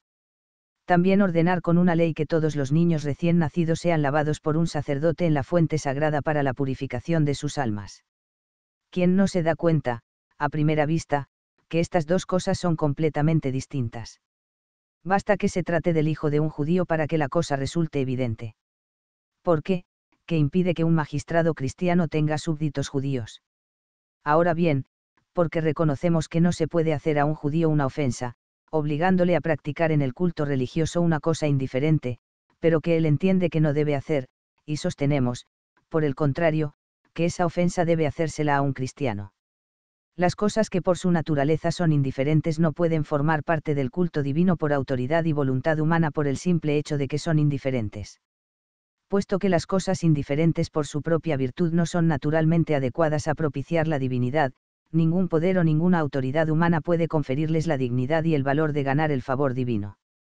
En los asuntos comunes de la vida el uso de las cosas por naturaleza indiferentes, que Dios no ha prohibido, es libre y está permitido y, por lo tanto, en esas cosas la voluntad o la autoridad humana tienen sitio. No hay la misma libertad en la religión y en las cosas sagradas. En el culto divino las cosas indiferentes son lícitas simplemente porque han sido instituidas por Dios, a ellas Dios, con un mandato que no ofrece dudas, ha atribuido un valor total, que forman parte del culto, y la majestad del Dios Supremo se dignará reconocerlo y de aceptarlo incluso si se lo ofrecen pobres y pecadores. Y, si Dios, airado, preguntase, ¿quién ha pedido estas cosas? No bastará con responder que el magistrado las ordenó si la jurisdicción civil se extiende tan lejos, que no estará permitido introducir en la religión. ¿Qué mezcla de ritos, qué supersticiosas invenciones, edificadas sobre la autoridad del magistrado, incluso en contra de la conciencia, no podrían ser impuestas a aquellos que adoran a Dios? Pues la mayor parte de estas imposiciones consiste en el uso religioso de cosas que son por su propia naturaleza indiferentes, y no son pecados porque no tienen a Dios como autor. La aspersión del agua, el uso del pan y del vino son cosas completamente indiferentes por su naturaleza y en la vida ordinaria, pueden convertirse estas cosas en usos sagrados y entrar a formar parte del culto divino sin una orden divina expresa. Si bastara un simple poder humano o civil, quizá no podría este poder prescribir como parte del culto divino también comer pescado y beber cerveza en la Sagrada Cena, aspergear el templo con sangre de bestias degolladas, hacer las purificaciones con agua y con fuego y otras muchas cosas de este tipo. Estas cosas, aunque fuera de la religión sean indiferentes, cuando se introducen en los ritos sagrados sin la conformidad de la autoridad divina, son tan abominables para Dios como el sacrificio de un perro. ¿Y por qué es un perro tan abominable? Por otra parte, ¿qué diferencia hay entre un perro y un cabrito respecto a la naturaleza divina, igual e infinitamente distante de la naturaleza material de uno y del otro, si no es que Dios quiere un género de animales y no otro en la celebración de los ritos y en el culto? Vemos, por lo tanto, que las cosas que están a nuestra disposición, aunque estén sometidas al poder civil, sin embargo, no pueden, con ese pretexto, ser introducidas en los ritos sagrados e impuestas en las asambleas religiosas, porque, en el culto sagrado, cesan inmediatamente de ser indiferentes. El que rinde culto a Dios lo hace con el propósito de agradarle y procurar su favor, algo que no puede hacer quien, por orden de otro, le ofrece a Dios lo que él cree que será desagradable a la divinidad, por no haber sido mandado por la misma divinidad. Esto no es aplacar a Dios, sino provocarlo voluntariamente y a sabiendas con una evidente ofensa, que no es compatible con la razón de ser del culto. Pero se nos preguntará, si nada en el culto divino se deja a la voluntad humana, ¿cómo se puede atribuir a las mismas iglesias el poder de ordenar algo sobre el tiempo, sobre el lugar y sobre otros aspectos del culto? Respondo a esta objeción que una cosa es una parte, y otra es una circunstancia del culto religioso. Es una parte del culto lo que se cree que Dios ha dispuesto y que le es agradable y, por lo tanto, es necesario. Las circunstancias son aquellas cosas que, aunque en general no pueden faltar en el culto, sin embargo, no están específicamente definidas, y, por ello, son indiferentes, a esta categoría pertenecen el lugar y el tiempo, el hábito de quien participa en el culto, la postura de su cuerpo, ya que sobre estas cosas la voluntad divina no ha establecido nada. Por ejemplo, entre los judíos el tiempo, el lugar y los hábitos de los que oficiaban no eran meras circunstancias, sino formaban parte del culto. Si en ellas había un defecto o alguna variación, no se podía esperar que sus celebraciones fuesen del agrado y de la aceptación de Dios. Pero, para los cristianos, que gozan de la libertad evangélica, estas cosas son meras circunstancias del culto, que la sagacidad de cada iglesia puede usar en la forma que juzgue más conveniente para los fines del orden, la decencia y el buen ejemplo. Pero, para aquellos que, aceptando el Evangelio, creen que el día del Señor ha sido reservado por Dios para su culto, esta determinación temporal no es una circunstancia, sino una parte del culto divino, que no puede ser cambiada ni descuidada. El magistrado no puede prohibir en las reuniones religiosas los ritos sagrados de cualquier iglesia, ni el culto practicado en ella, porque, si lo hiciera, destruiría la iglesia misma, ya que el fin es adorar libremente a Dios a su manera. Se puede preguntar si el magistrado debe tolerar que en la sociedad eclesiástica se practique el sacrificio de niños o la promiscuidad carnal, de las que en un tiempo los cristianos fueran falsamente acusados, y otras cosas de este tipo simplemente porque tienen lugar en la sociedad eclesiástica. Respondo que estas cosas no son lícitas ni en ninguna casa privada ni en la vida civil, y por el mismo motivo tampoco lo son en las asambleas religiosas ni en el culto. No se podría impedir por ley la inmolación de un cordero. Melibeo, que es el dueño del animal, en su casa puede matar el cordero y quemar las partes de él que le parezca, no hace daño a nadie y no le quita nada a nadie.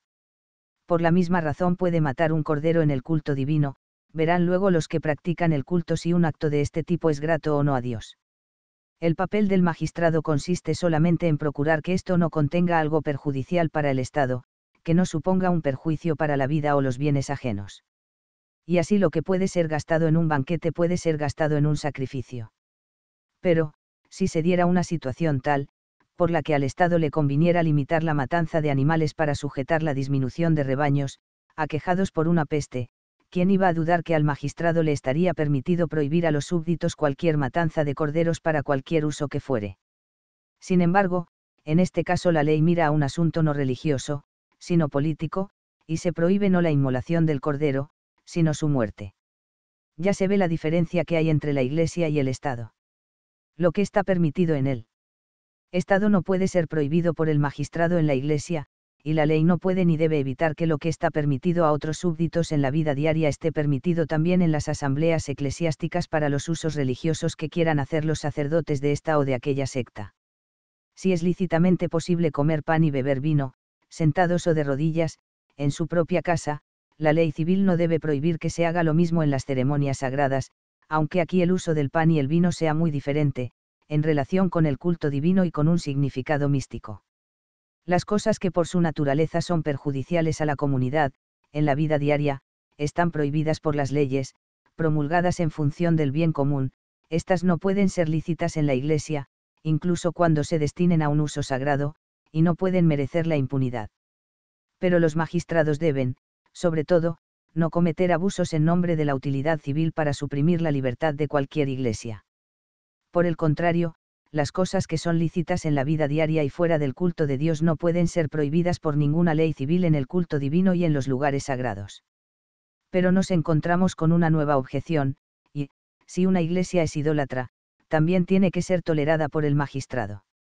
Y entonces yo os pregunto, ¿qué derecho se le puede dar al magistrado para suprimir una iglesia idólatra, un derecho que en algún momento o lugar no sea susceptible de ser usado contra la iglesia ortodoxa?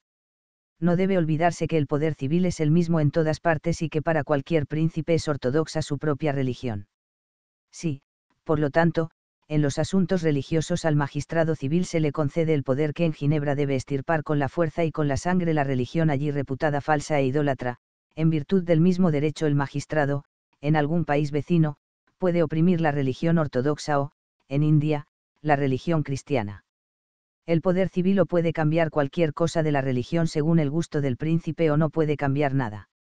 Si se permite introducir algo en la religión por medio de leyes, la fuerza o los castigos, resulta inútil preguntarse sobre los límites de este derecho, al magistrado le estará permitido hacer con los mismos medios cualquier cosa según el modelo de verdad que él mismo se ha formado. Ningún hombre debe ser privado de sus bienes terrenales por su religión, por eso ni a los americanos, sometidos a un príncipe cristiano, se les debe quitar la vida o los bienes, porque no abracen la religión cristiana. Si están persuadidos de que agradan a Dios observando los ritos de su propio país y que obtendrán la salvación de esa manera, deben ser dejados a sí mismos y a Dios. Me remontaré a los orígenes. A un reino de paganos llega un grupo de cristianos, insignificante y débil, carentes de todo. Los extranjeros piden a los indígenas, de hombre a hombre, como se debe hacer, ayuda para sobrevivir se les dan las cosas necesarias, se les asigna cobijo, y paganos y cristianos se convierten en un solo pueblo. La religión cristiana echa raíces, se propaga, pero todavía no es la más fuerte. Se mantiene así la paz, la amistad, la confianza y se respeta la justicia. Pero al final los cristianos se convierten en los más poderosos, porque hacen magistrado a uno de ellos. Entonces llega el momento de romper los pactos, de violar los derechos, para estirpar la idolatría, y a estos buenos paganos, tan escrupulosamente respetuosos del derecho, si no quieren abandonar sus antiguos ritos y adoptar los nuevos y extraños, se les quitará la vida, los bienes y las tierras de sus antepasados, aunque no pequen contra las buenas costumbres y contra la ley civil. Entonces resulta claro a dónde lleva el fanatismo por la Iglesia, cuando va unido al deseo de predominio, y se demuestra con claridad con qué facilidad la religión y la salvación del alma sirven como pretexto para la ambición y para las rapiñas. Si alguien mantiene que la idolatría tiene que ser estirpada con las leyes, con los castigos, con la espada y con el fuego, bajo otro nombre aquí hablamos de él. Pues no se tiene más derecho en América para robar a los paganos, del que tiene en cualquier reino europeo la Iglesia del Rey para probar a los cristianos que en algún modo disienten de la misma tanto en América como en Europa los derechos civiles no deben ser violados o cambiados por la religión. Se me puede decir que la idolatría es un pecado y, por este motivo, no debe ser tolerado. Si aquel que dice que la idolatría es un pecado concluyese que, por este motivo, debe ser evitada, la conclusión sería correcta, pero no es un buen razonamiento decir que, si es un pecado, tiene que ser castigada por el magistrado. Efectivamente, no corresponde al magistrado castigar con las leyes o hacer uso de la espada en todas las cosas que él considera pecados contra Dios. La avaricia, no ayudar a los demás cuando tienen necesidad, la ociosidad y muchas otras cosas de este tipo son pecados, por acuerdo de los hombres, pero quien ha pensando que tienen que ser castigadas por el magistrado.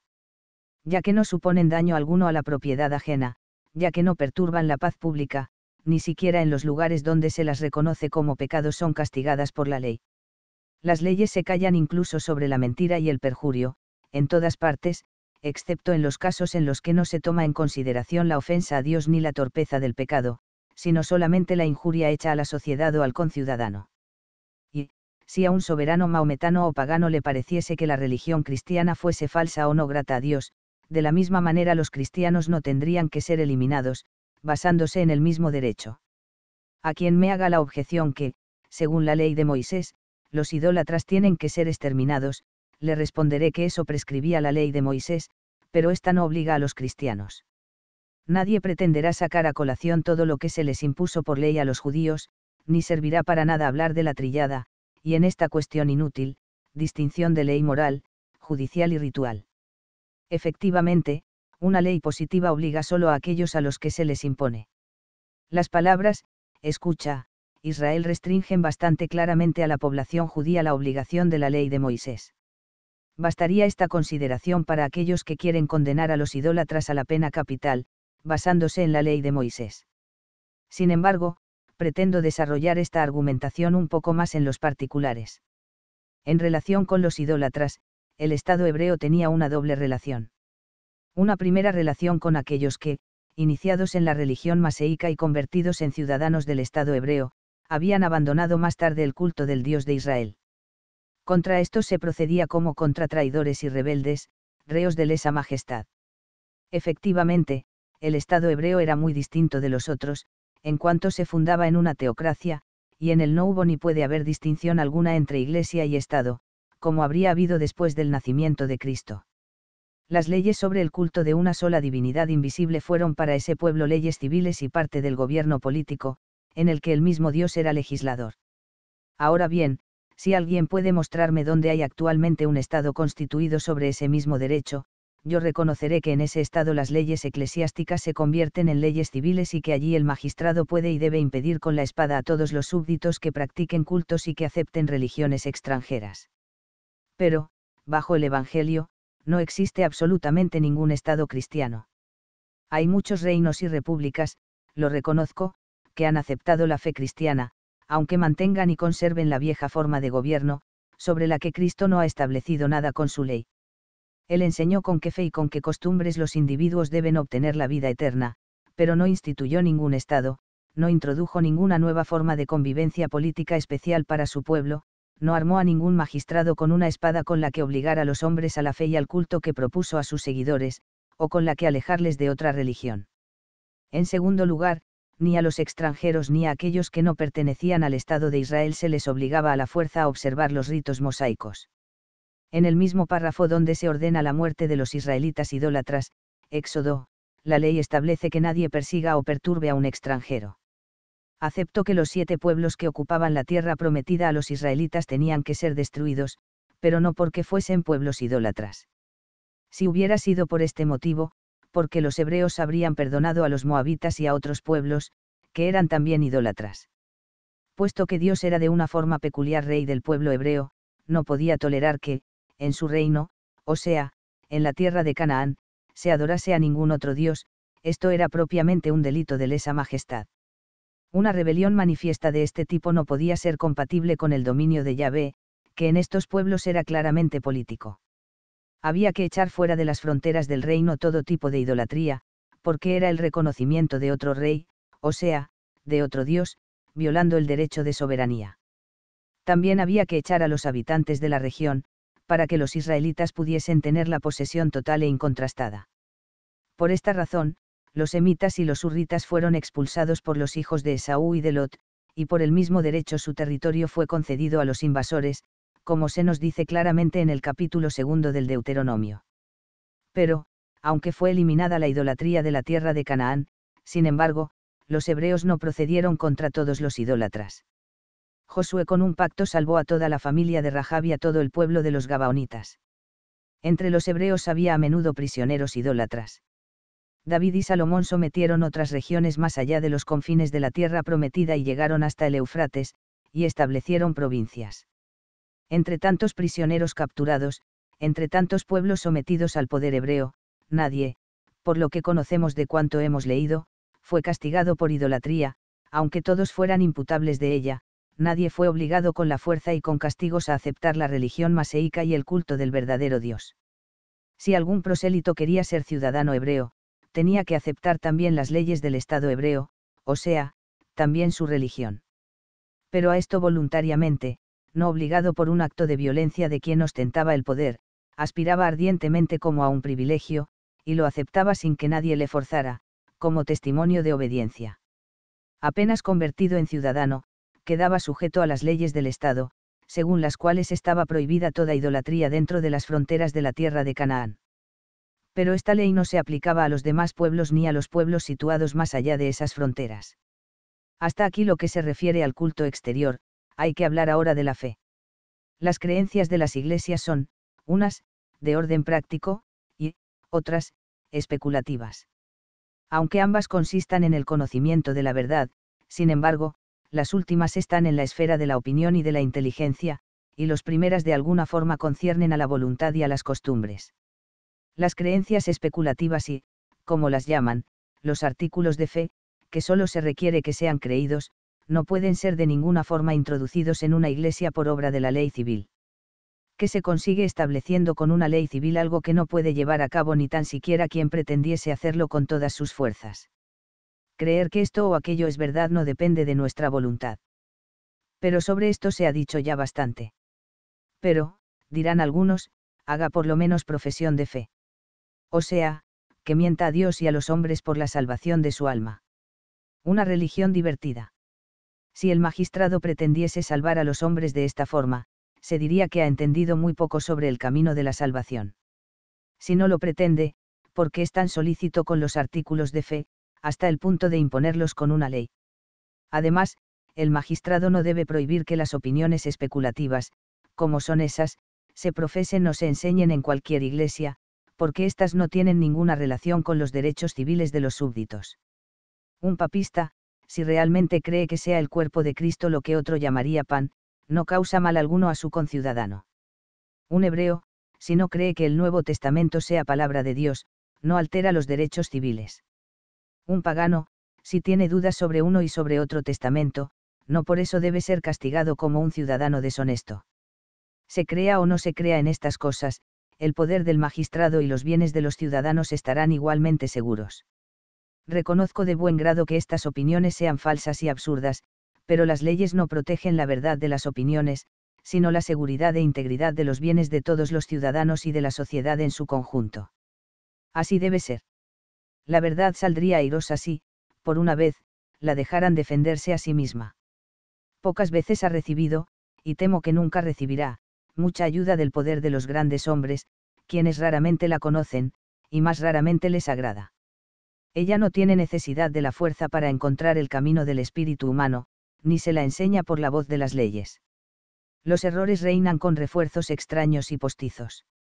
La verdad, si no conquista la inteligencia con su propia luz, no puede hacerlo con la ayuda de una fuerza extraña. Pero de estas cosas ya hemos hablado. Ahora hay que proseguir con las opiniones prácticas. La rectitud de costumbres, en la que consiste la parte no más pequeña de la religión y de la piedad sinceras, concierne también a la vida civil, y en ella se funda tanto la salvación de las almas como del Estado. Por eso las acciones morales pertenecen a ambos tribunales, al exterior y al interior, y están sometidas a ambas autoridades, a la del gobernador civil y a la del gobernador privado, o sea, tanto al magistrado como a la conciencia. Aquí, por tanto, hay que temer que uno viole el derecho del otro, y que surja un conflicto entre el guardián de la paz y el del alma. Pero, si se estudian bien las cosas que hemos dicho más arriba sobre los límites entre uno y otro dominio, el problema tendrá una fácil solución. Cada hombre tiene un alma inmortal, capaz de gozar de una bienaventuranza eterna o de sufrir una infelicidad eterna. Su salvación depende de haber hecho o creído en esta vida las cosas que hay que hacer y creer y que son prescritas por Dios para obtener el favor de la divinidad. De esto se deduce emoticono cara sonriente. El hombre está obligado, sobre todo, a la observancia de estas cosas y debe extremar su cuidado, su aplicación y su diligencia en buscar y realizar estas cosas, pues la condición del hombre en el mundo no tiene comparación con la de la eternidad dado que el hombre con culto erróneo no viola nunca el derecho de otros hombres, porque no los perjudica, aunque no tenga sus justas creencias religiosas, ni su condenación pone trabas a la prosperidad de los demás, el cuidado de su salvación corresponde solo a los individuos. No digo esto para eliminar todas las admoniciones caritativas y el celo de aquellos que denuncian los errores, cosas estas que son los deberes más grandes de un cristiano. Cualquiera puede emplear cuantas exhortaciones y argumentos guste para la salvación de otro hombre, pero debe prescindir de toda fuerza o coacción y nada tiene que ser hecho basándose en el poder en cosas de este tipo. Nadie está obligado en estos asuntos a obedecer las exhortaciones o la autoridad más allá de lo que le parezca oportuno. Cada uno es juez último y supremo de su salvación, porque se trata de algo que le concierne solamente a él, y los otros no pueden recibir perjuicio alguno por ello. Pero, además de su alma inmortal, el hombre tiene también una vida en esta tierra, frágil y de duración incierta. Para sostenerla precisa bienes terrenales, que sea de procurar o preservar con dolor y trabajo. No son producto espontáneo de la naturaleza las cosas necesarias para vivir bien y felizmente, por eso también los hombres tienen que preocuparse de ellas. Pero está la maldad de los hombres, que la mayoría prefiere gozar del producto del trabajo ajeno a conseguir con el suyo lo que necesita. Para proteger los productos de su trabajo, como las riquezas y bienes, o los instrumentos de trabajo, como la libertad y la fuerza, los hombres tienen que fundar con sus semejantes una sociedad, para que con la ayuda mutua de sus fuerzas unidas a cada uno se le asegure la propiedad de las cosas útiles para la vida. El cuidado de la salvación eterna, por el contrario, se deja a los individuos, y, puesto que su consecución no puede ser facilitada por el trabajo de los demás, su pérdida no puede suponer para el demás daño alguno, y la esperanza de la misma no puede ser arrancada por ninguna fuerza. Aunque se haya constituido una sociedad en la que se garantiza una defensa mutua de los bienes de esta vida, sin embargo, los hombres podrían ser privados de sus bienes o por robo o por fraude de sus conciudadanos o por agresión externa de enemigos extranjeros. Contra la agresión ellos buscan remedio en las armas, en las riquezas y en el número de ciudadanos, contra el robo y el fraude, en las leyes. El cuidado de todos estos medios de defensa y el poder necesario para usarlos son solicitados por la sociedad a los magistrados. El poder legislativo, que es poder supremo en cada Estado, ha tenido este origen, está constituido a la vista de estas funciones y está incluido en estos límites. O sea, él debe preocuparse de las propiedades privadas de los individuos, y, por tanto, del pueblo en su conjunto y de paz los bienes públicos, para que prospere y crezca en la paz y en la riqueza y para que, en virtud de su fuerza, goce de la mayor seguridad posible contra cualquier invasión externa. Explicadas estas cosas es fácil comprender el fin en relación con el cual haya que regular el poder legislativo del magistrado, el bien público, terrenal y mundano, que es la única razón, válida para todos, para entrar a formar parte de la sociedad y es el único fin del Estado, una vez que éste sea constituido. Es también fácil comprender qué libertad les queda a los privados, en cuanto a las cosas que prefieren a la vida futura, en esto cada uno hace lo que cree que resulta grato a Dios, de cuyo beneplácito depende la salvación de los hombres. Efectivamente, en primer lugar, se debe obedecer a Dios, luego a las leyes. Pero pueden preguntar algunos, ¿qué pasa si el magistrado con una ley ordenara algo que a la conciencia de una persona privada le parece ilícito? Observo que, si el Estado está lealmente administrado y las intenciones del magistrado están verdaderamente dirigidas al bien público, esto raramente ocurrirá. Pero, si aconteciese tal cosa, entonces, según mi opinión, la persona privada debe abstenerse de las acciones que, basándose en la respuesta de su conciencia, son lícitas, pero cumplir el castigo, pues sufrirlo no es ilícito. Efectivamente el juicio privado de cualquier ciudadano no quita obligatoriedad de una ley promulgada por el bien público y en materia política, ni merece tolerancia. Pero, si la ley se refiere a cosas que están fuera de la jurisdicción del magistrado, por ejemplo, que el pueblo, o una parte de él, fuera obligado a abrazar una religión distinta a aquella que practica y a aceptar otros cultos distintos de los suyos, entonces no están obligados por esta ley aquellos que piensen de otra manera. Efectivamente, la sociedad política ha sido instituida solo para asegurar a cada hombre la propiedad de los bienes de esta vida, y para ningún otro fin, cada persona privada tiene la obligación y se le reserva el cuidado de su alma y de las cosas del cielo, que no pertenecen a la sociedad y no pueden ser sometidas a la misma. Función de la sociedad civil será la tutela de la vida y de las cosas que sirven para vida, deber del magistrado es que sus propietarios las puedan conservar. El magistrado no puede despojar, según su arbitrio, de las cosas terrenales a un hombre y dárselo a otro, ni puede, ni siquiera con una ley, cambiar las propiedades privadas de los conciudadanos por una causa que no tenga relación con la convivencia civil, es decir, por la religión, cuya verdad o falsedad no perjudica a otros ciudadanos en las cosas de este mundo, que son las únicas sometidas al Estado y si el magistrado cree que tiene que hacer esto por el bien público. Como el juicio privado de cada ciudadano, si es falso, no le exime de la obligación de obedecer a la ley, tampoco el juicio privado, por así llamarlo, del magistrado le da ningún nuevo derecho legislativo sobre los súbditos, que no le haya sido conferido o que no pudiese serie conferido en la Constitución del Estado, mucho menos si el magistrado lo usa para enriquecer y hacer progresar a sus seguidores, miembros de la secta a la que él pertenece, a costa de los demás. Se me preguntará entonces, ¿qué ocurre si el magistrado cree que lo que ordena está en su poder o es útil al Estado, y los súbditos creen lo contrario? ¿Quién juzgará entre ellos? A mi juicio, solamente Dios, porque entre el legislador y el pueblo no hay en la tierra ningún juez. En este caso solo Dios es árbitro. Dios, que, en el último juicio, pesará castigos y premios en relación con los méritos de cada uno, basándose en aquello que cada uno haya hecho para promover sinceramente, según lo que debía y podía, el bien público, la paz y la piedad. ¿Qué se hará mientras tanto? Sobre todo, debe tener mucho cuidado de su alma y tiene que emplearse a fondo por la paz, aunque haya muy pocos que piensen que hay paz donde todo lo ven arrasado. Los conflictos entre los hombres se pueden resolver con dos criterios, o con el derecho o con la fuerza. Se trata de dos criterios que donde termina uno empieza el otro. No es asunto mío buscar hasta dónde se extienden, en cada uno de los pueblos, los derechos del magistrado, yo solamente sé lo que ocurre cuando surge una controversia y falta el juez que la resuelva. Se puede preguntar, entonces el magistrado, que es el fuerte, hará lo crea que es más útil. Tú dices cómo suceden las cosas, pero aquí estamos buscando la norma del comportamiento recto y no cómo suceden las cosas dudosas. Pero descendamos a los particulares. El magistrado no debe tolerar ninguna creencia contraria a la sociedad humana y a las buenas costumbres necesarias para preservar la sociedad civil. En realidad, son raros los ejemplos de creencias de este tipo en cualquier iglesia. Ninguna secta suele llegar a tal grado de locura, que enseñe como dogmas religiosos cosas que manifiestamente socaven los cimientos de la sociedad y, por esto, son objeto de condena unánime por parte de toda la humanidad, y ponen en peligro los bienes, la paz y la reputación de sus miembros.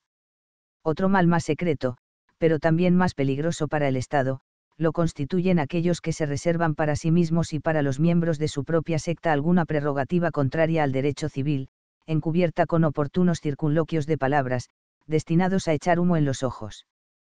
quizá no encontraremos en ningún lugar a nadie que enseñe franca y abiertamente que los hombres no están obligados a cumplir sus promesas, que los soberanos pueden ser destronados por cualquier secta, que solo los miembros de aquella secta tienen dominio sobre todas las cosas. Estas cosas, dichas abiertamente y sin perifollos, despertarían inmediatamente la atención del magistrado, y atraerían sobre ellos las miradas y las medidas del Estado para evitar que un mal de este género siga insinuándose a escondidas en el seno de la sociedad. Sin embargo, nos encontramos con personas que dicen las mismas cosas con otras palabras. Que pretenden quienes enseñan que no debe cumplirse la palabra dada a los herejes. Quieren decir simplemente que ellos tienen el privilegio de romper la promesa hecha, porque condenan como herejes a todos aquellos que no pertenecen a su comunidad religiosa, o por lo menos pueden condenarlos así cuando quieran. El derecho de destronar a los reyes excomulgados no pretende únicamente arrogarse el poder de echar a los reyes de su reino, ya que reivindican exclusivamente a su jerarquía el derecho de excomunión. Quienes mantienen que el poder está basado en la gracia atribuyen la propiedad de todos los bienes a sus seguidores, los cuales no serán tan tontos que no quieran creer o profesar que ellos son verdaderamente píos y fieles. Por tanto, estos y sus semejantes, que atribuyen a sus fieles, a las personas religiosas, a los ortodoxos, es decir, a sí mismos, privilegios sobre los otros mortales o poderes en las cosas civiles, que, con el pretexto de la religión, reivindican cierto dominio sobre los hombres ajenos a su comunidad eclesiástica, o que están separados de ellos de alguna forma, estos, digo, no pueden tener derecho alguno a ser tolerados por el magistrado, tampoco lo tienen aquellos que no quieren enseñar que. También los otros, que disienten de ellos en materia de religión, deben ser tolerados. Que enseñan esos y todos sus semejantes, sino que en cualquier ocasión les está concedido violar los derechos del Estado y la libertad y los bienes de los ciudadanos, y solamente piden al magistrado indulgencia y libertad hasta que tengan fuerzas y armas suficientes para llevar a cabo sus programas. No puede tener derecho a la tolerancia una iglesia en la que cualquier persona que entre se somete al servicio y a la obediencia de otro soberano. Si la tolerase, el magistrado daría entrada al asentamiento de una jurisdicción extranjera en sus territorios y ciudades y permitiría que entre sus ciudadanos se alistasen soldados para luchar en contra de su propio Estado. Ningún remedio para este mal proporciona la distinción, frívola y falaz, entre corte e iglesia, cuando una y otra están igualmente sometidas al poder absoluto de la misma persona, que puede sugerir, o incluso ordenar, a su iglesia todo lo que quiere, bien en cuanto que es espiritual o en cuanto se refiere a lo que es espiritual, bajo el castigo del fuego eterno. Es inútil confesarse maometano solo de religión y, en las demás cosas, considerarse súbdito fiel del magistrado cristiano, si se reconoce luego obedecer ciegamente al muftí de Constantinopla, quien a su vez es totalmente obediente al emperador otomano y a su antojo manipula los oráculos de su religión. Sin embargo, todavía repudiaría más abiertamente al Estado cristiano un turco que, viviendo entre cristianos, reconociese que la cabeza de su iglesia es la misma persona que ostenta el poder soberano. No deben ser de ninguna forma tolerados aquellos que niegan la existencia de una divinidad. Efectivamente, ni una promesa, ni un pacto, ni un juramento, todas esas cosas que constituyen los vínculos de la sociedad, si provienen de un ateo, pueden constituir algo estable o sagrado, eliminado Dios, aunque solo sea con el pensamiento, todas estas cosas se disuelven. Además, no puede invocar ningún derecho a la tolerancia en nombre de la religión aquel que, con el ateísmo, elimina completamente toda religión. En cuanto a las demás creencias prácticas, aunque no están absolutamente exentas de error, sin embargo, si a través de ellas no se intenta conseguir predominio o impunidad civil, no hay razón para que no se toleren las iglesias en las que se enseñan. Tengo que añadir algo sobre las reuniones, 13, se trata de formas religiosas asociativas, sin una estructura eclesiástica uniforme. Las sectas protestantes dieron vida a este tipo de organización eclesiástica, sustrayéndose al control tanto de la Iglesia de Inglaterra como al presbiterianismo, que suelen constituir la mayor dificultad para una doctrina de la tolerancia. Estas, por regla general, tienen fama de ser fermento de las ediciones y lugar de formación de las facciones, y quizá alguna vez lo hayan sido, pero no por su carácter particular, sino por una desafortunada consecuencia de una libertad oprimida o mal establecida. Estas acusaciones cesarían inmediatamente, si se concediese la tolerancia a los que les corresponde con una ley que obligase a todas las iglesias a enseñar a poner como fundamento de su libertad este principio, que los demás, aunque disientan en materia de religión, tienen que ser tolerados y que nadie, en materia de religión, puede ser obligado ni por la ley ni por la fuerza. Su establecimiento quitaría todo pretexto a las quejas y a los tumultos por motivos de conciencia. Eliminadas las causas del descontento y de la rebelión, las reuniones religiosas resultarán más pacíficas que las otras y más alejadas de producir disturbios públicos. Pero veamos, a grandes rasgos, cuáles son las acusaciones que se hacen a estas asociaciones. Se dice que las reuniones y asambleas son un peligro para el Estado y una amenaza para la paz. Si esto fuese verdad, porque diariamente la gente se acerca a la plaza, se reúne en los tribunales, se reagrupa en las corporaciones, llena las ciudades se contestará que esas son reuniones civiles, mientras que antes se hablaba de reuniones eclesiásticas. Esto presupone que las reuniones que se ocupan menos que las otras de los asuntos civiles son las que más fácilmente perturban asuntos civiles. Algún otro objetará que las reuniones civiles están constituidas por hombres de distintas religiones, mientras que las asambleas eclesiásticas están constituidas por personas que tienen la misma fe. Esto presupone que pensar de la misma forma sobre la religión y sobre la salvación del alma sea conspirar contra el Estado, y no es verdad que cuanto menor es la libertad de reunión menor es la concordia religiosa, sino que ésta es mucho mayor.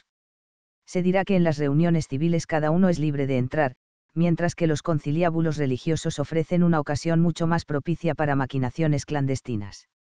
Pero no estoy de acuerdo en que todas las reuniones civiles, como las corporaciones y otras por el estilo, estén abiertas a todos, y, si algunas reuniones religiosas son clandestinas, ¿quién es culpable en este caso? ¿Quién permite o quién prohíbe las reuniones públicas? Se dice que tener en común las cosas sagradas es el lazo más fuerte que exista entre los ánimos humanos, y por este motivo es lo que más se debe temer. Si esto fuese verdad, ¿por qué el magistrado no teme a su propia iglesia y por qué no prohíbe sus reuniones como fuentes de amenaza para sí mismo? ¿Por qué participa en ellas e incluso las preside? pero no es quizá también parte del Estado, incluso cabeza de todo el pueblo.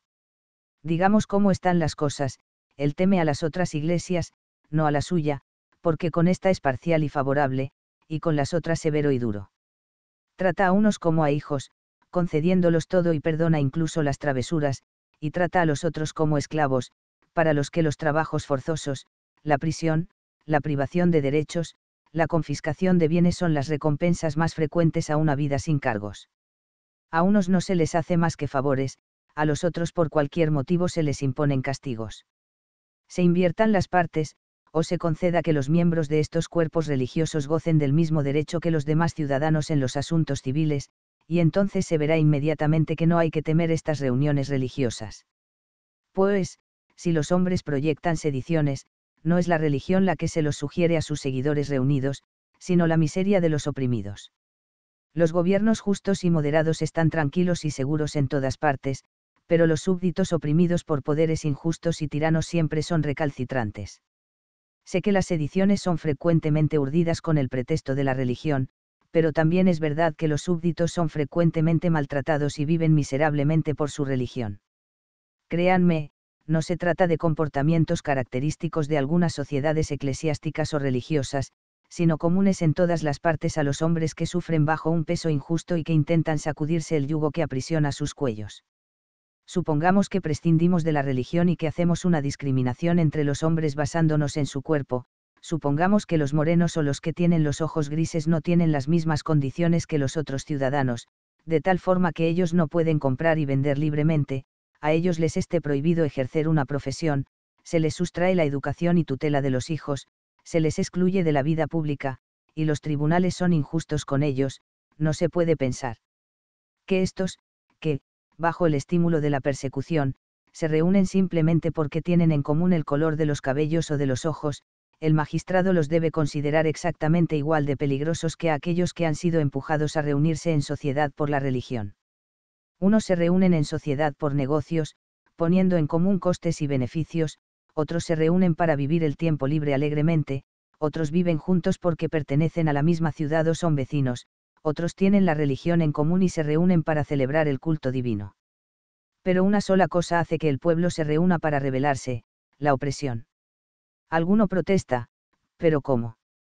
Quiere que se hagan reuniones para celebrar el culto en contra de la voluntad del magistrado. Yo digo que se trata de una cosa lícita y necesaria. Tú dices en contra de la voluntad del magistrado, pero es precisamente de lo que me quejo, ese es el origen del mal, es el temporal que se ha abatido sobre nuestro campo. Porque la reunión de los hombres en el templo va a resultar menos aceptable que la reunión en el teatro o en el circo. No se trata de gente peor o más turbulenta. Todo se reduce a lo siguiente, son maltrados, y por esto son insoportables elimina la injusta distribución de los derechos, cambia las leyes, suprime los castigos a los que le sometes, y todo será tranquilo, seguro. Los que tienen una religión distinta a la del magistrado se sentirán tanto más obligados a mantener la paz del Estado cuanto mejor sea la condición de que goza en el Estado en relación con la que a otros ve vivir en otros estados.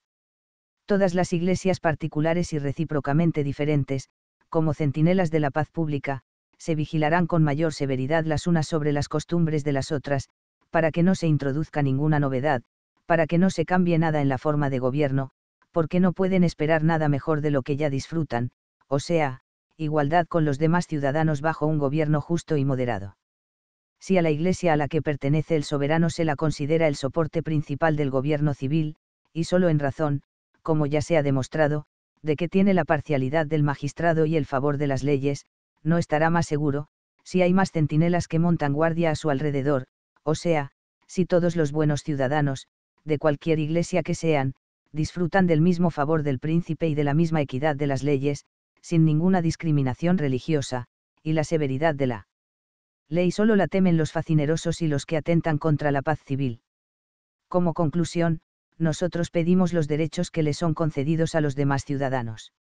está permitido adorar a Dios según el rito romano. Pedimos que también esté permitido adorarlo según el rito ginebrino. Se permite hablar latín en la plaza pública. Pedimos que, a aquellos que lo deseen, puedan hablarlo también en la iglesia. Está permitido que en su casa se arrodille, esté de pie o sentado, haga estos o aquellos gestos, se ponga vestidos blancos o negros, largos o cortos. Pues que no se considere ilícito comer pan, beber vino, lavarse con agua en la iglesia, y todas las cosas que en la vida común no están vinculadas a ninguna ley estén disponibles para cualquier iglesia en su culto sagrado. No se destruya la vida o el cuerpo de nadie por estas cosas, ni se descoyunte ninguna casa ni ninguna familia. Se puede permitir una iglesia regida por presbíteros. ¿Por qué no también una iglesia regida por obispos, para quienes esto les guste? El poder eclesiástico, sea administrado por una sola persona o por varias, es el mismo en todas partes y, en las cosas civiles, no tiene ni el derecho ni la fuerza para ejercer la coacción. Al poder eclesiástico no le importan ni los patrimonios ni las rentas anuales. Las reuniones eclesiásticas y los sermones están permitidos por la diaria experiencia. Pero, si se admiten las reuniones de una iglesia o de una secta, ¿por qué no se van a admitir las de todas? Si en las reuniones religiosas se hace algo contra la paz pública, se tiene que reprimir de la misma forma que si hubiera sucedido en el mercado. Si durante un sermón en la iglesia se dice o se hace algo sedicioso, se debe castigar lo mismo que si hubiera sucedido en la plaza. Las reuniones religiosas no deben ser refugio de facinerosos y de rebeldes, pero, por otra parte, las reuniones en la iglesia no deben ser más ilícitas que las que tienen lugar en los edificios públicos, ni las reuniones eclesiásticas tienen que suponer un mayor castigo para unos ciudadanos que para otros cada uno ha de ser responsable de sus acciones y nadie ha de caer bajo sospecha u odio por las faltas de otros. Se castiguen o se repriman a los rebeldes, a los asesinos, a los sicarios, a los bandidos, a los ladrones, a los adúlteros, a los estafadores, a los calumniadores, etc., de cualquier iglesia, sea regia o no. Pero aquellos que tienen una doctrina aportadora de paz, aquellos cuyos comportamientos son puros y sin culpa deben ser tratados lo mismo que los demás ciudadanos y, si a los demás se les permiten reuniones, asambleas solemnes, celebraciones festivas, sermones públicos y ceremonias religiosas públicas, todas esas cosas se deben permitir también a los protestantes, a los antiprotestantes, a los luteranos, a los anabaptistas, a los socinianos con los mismos derechos. Más aún, si tenemos que decir abiertamente la verdad y lo que conviene a las relaciones humanas, ni los paganos ni los maometanos ni los judíos deberían ser excluidos del Estado por motivos religiosos. El Evangelio no ordena nada así, ni lo desea la Iglesia, que, y Corintios, no juzga a aquellos que están fuera de ella, ni lo exige el Estado, que recibe y acoge a los hombres en cuanto hombres, a condición de que sean honestos, pacíficos y trabajadores. Permitirá a un pagano ejercer el comercio y le prohibirá rezar y adorar a Dios. Si permitimos a los judíos tener moradas y casas privadas, ¿por qué se les van a negar sinagogas? Es su doctrina más falsa, su culto más abominable o la concordia más peligrosa en una reunión pública que en las casas privadas. Y, si se conceden estas cosas a los judíos y a los paganos, tendrá que ser peor la condición de los cristianos en un Estado cristiano. Quizás se me puede decir que sí, porque los cristianos están más inclinados a las facciones, a los tumultos y a las guerras civiles pero esto es un defecto de la religión cristiana. Si fuera así, verdaderamente la religión cristiana es la peor de todas las religiones, y no es digna de ser profesada ni de ser tolerada por el Estado. Pues, efectivamente, si este es su carácter, esta es la naturaleza de la religión cristiana, ser turbulenta y enemiga de la paz civil, la misma Iglesia protegida por el magistrado un día se hará culpable de estos crímenes pero nosotros no pretendemos decir esto de la religión que es enemiga de la avaricia, de la ambición, de la discordia, de las disputas y de los deseos terrenales, la más moderada y pacífica de todas las religiones que han existido. Debemos, por lo tanto, buscar otra causa a los males que se imputan a la religión. Si valoramos rectamente la situación, la encontraremos dentro del problema que ahora discutimos. No la diversidad de creencias, que no se pueden evitar, sino el rechazo de la tolerancia, que podía ser concedida a los que nutren creencias diferentes, ha producido la mayoría de los conflictos y de las guerras que ha habido en el mundo cristiano por causa de la religión.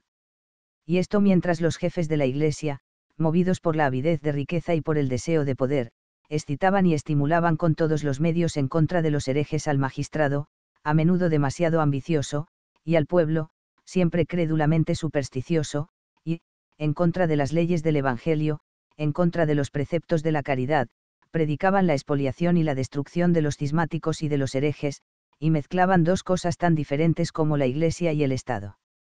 Ahora bien, de hecho, los hombres no soportan con paciencia que se les prive de los frutos de su honesto esfuerzo y de convertirse en presa de la violencia y de la rapiña de otros hombres, en contra de todo derecho humano y divino, sobre todo cuando son inocentes, y la causa por la que se les trata así no concierne a la ley civil, sino a la conciencia de cada uno y a la salvación del alma, de lo que únicamente a Dios se debe rendir cuentas. ¿Qué otra cosa se puede esperar de estos hombres, sino que, cansados de los males que les oprimen, se convenzan finalmente que está permitido responder con la fuerza a la fuerza y defender, con las armas que tiene, los derechos que les ha concedido Dios y la naturaleza, y que no se deben perder por la religión, sino solo por las culpas que se hayan cometido.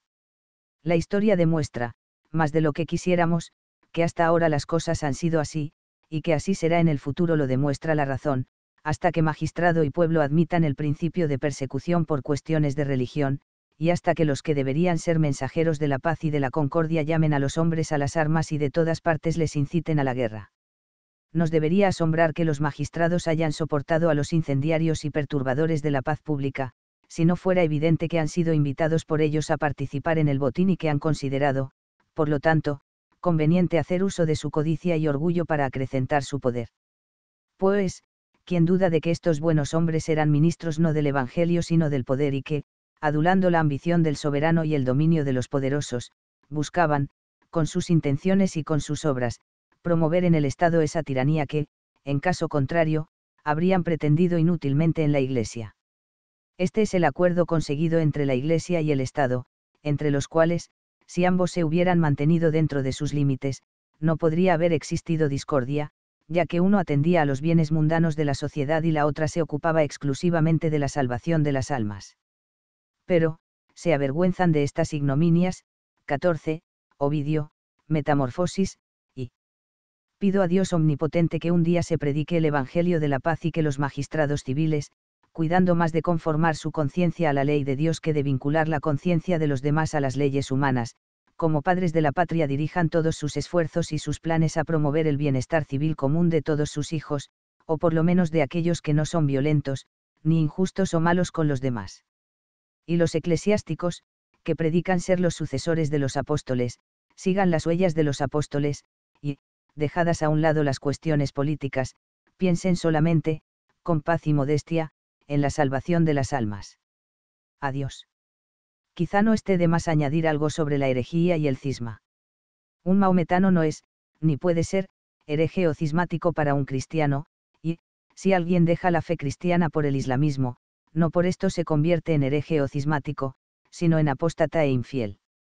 Nadie duda de esto, de donde resulta que personas de diferentes religiones no pueden ser herejes o cismáticos entre sí los unos para los otros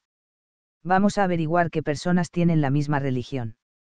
Es evidente que tienen la misma religión aquellos que tienen la misma regla de fe y de culto. Efectivamente, dado que todo lo que pertenece a una religión está contenido en su regla, los que tienen la misma regla necesariamente tienen la misma religión, y viceversa. Por ejemplo, turcos y cristianos tienen religiones diferentes, porque unos reconocen como regla de su religión la Sagrada Escritura, y otros el Corán. Sin embargo, por la misma razón, puede haber, bajo el único nombre de cristiano, diferentes religiones, los papistas y los luteranos, aunque sean unos y otros cristianos, en cuanto profesan su fe en el nombre de Cristo, sin embargo, no tienen la misma religión, porque unos reconocen solo la Sagrada Escritura como regla y fundamento de su religión, mientras otros a la Sagrada Escritura añaden las tradiciones y los decretos del Papa, y de todo esto hacen la regla de su religión. Análogamente, los cristianos de San Juan, 15, se trata de una antigua secta caldea, que pretendía descender de aquellos que habían sido bautizados por San Juan Bautista, como se les llama, y los cristianos de Ginebra, aunque los unos y los otros se llamen cristianos, tienen diferentes religiones, porque estos tienen como regla la Sagrada Escritura, y aquellos no sé qué tradiciones. De todo esto se sacan estas conclusiones. La herejía es una separación en la comunidad eclesiástica entre hombres que tienen la misma religión por creencias que no están contenidas en la misma regla. Para los que consideran solo la Sagrada Escritura como regla de fe, la herejía es una separación en la comunidad cristiana por artículos de fe no contenidos en palabras claras en la Sagrada Escritura. Esta separación puede realizarse de dos maneras. La mayor parte o la parte más fuerte de la Iglesia, más fuerte porque tiene el apoyo del magistrado, se separa de los demás, echándolos y excluyéndolos de la comunidad, porque no quieren profesar su creencia en algunos dogmas no contenidos en las palabras de la Sagrada Escritura. No es lo reducido del número de los que son separados, ni el apoyo del magistrado, del que gozan los demás, lo que hace a alguien reo de herejía. Es hereje solo aquel que, por creencias de ese género, divide a la Iglesia en partes, introduce términos y marcas de distinción y se convierte en promotor de una separación. Alguien se separa de la comunidad eclesiástica porque en ella no se profesa públicamente cierta creencia que la Sagrada Escritura no indica con palabras explícitas. Tanto los primeros como los segundos son herejes, porque yerran en lo fundamental y yerran intencionada, consciente y obstinadamente. En efecto, aunque han aceptado la Sagrada Escritura como único fundamento de la fe, sin embargo, admiten también otro fundamento, o sea, proposiciones que no se encuentran en ninguna parte de la Sagrada escritura. Y, dado que los otros no quieren reconocer como necesarias y fundamentales estas opiniones suyas añadidas, zurcidas en la Sagrada Escritura, ni fundarse en ellas, hacen una secesión o bien expulsándolos de su comunidad o separándose de ellos. No importa que digan que sus profesiones de fe y sus artículos de fe concuerdan con la Sagrada Escritura o respetan la analogía con la fe. Sí, efectivamente, están contenidos en las palabras de la Sagrada Escritura, no puede existir ningún problema, porque por consenso unánime esas creencias y todas las de este género son fundamentales en cuanto inspiradas por Dios. Si se dice que esos artículos, que se exige profesar, son deducciones de la Sagrada Escritura, entonces está bien creerlos y profesarlos, si parecen concordar con la regla de fe, o sea, con la Sagrada Escritura, pero está mal pretender imponerlos a los demás, a los que no parece que se trate de creencias indudablemente contenidas en la Sagrada Escritura si se introduce una separación por estas cosas, que ni son ni pueden ser fundamentales, uno es hereje. No creo que nadie pueda llegar a tal grado de locura, como para atreverse a expresar sus deducciones e interpretaciones de la Sagrada Escritura como cosas inspiradas, y a poner en el mismo plano los artículos de fe que él ha formulado a su manera con la autoridad de la Sagrada Escritura. Sé que hay proposiciones tan evidentemente conformes con la Sagrada Escritura, que nadie puede dudar que deriven de ella, sobre estas, por lo tanto, no puede haber discordia. Pero lo que a uno le parece que deriva de la Sagrada Escritura con una deducción legítima no debe imponer a otro como un artículo de fe necesario, simplemente porque al primero le parezca acorde con la regla de fe, al menos que se juzgue justo que otros, con igual derecho, impongan sus opiniones, y que se les obligue a admitir y a profesar creencias diferentes y mutuamente incompatibles de los luteranos, de los calvinistas, de los protestantes, de los anabaptistas y de otras sectas, que los constructores de símbolos, de sistemas y de confesiones suelen imponer y predicar a sus seguidores, como consecuencias necesarias y auténticas de la Sagrada Escritura. No puedo dejar de maravillarme de la enorme arrogancia de aquellos que consideran que pueden enseñar las cosas necesarias para la salvación mucho más claramente que lo pueda hacer el Espíritu Santo, que es la infinita y eterna sabiduría.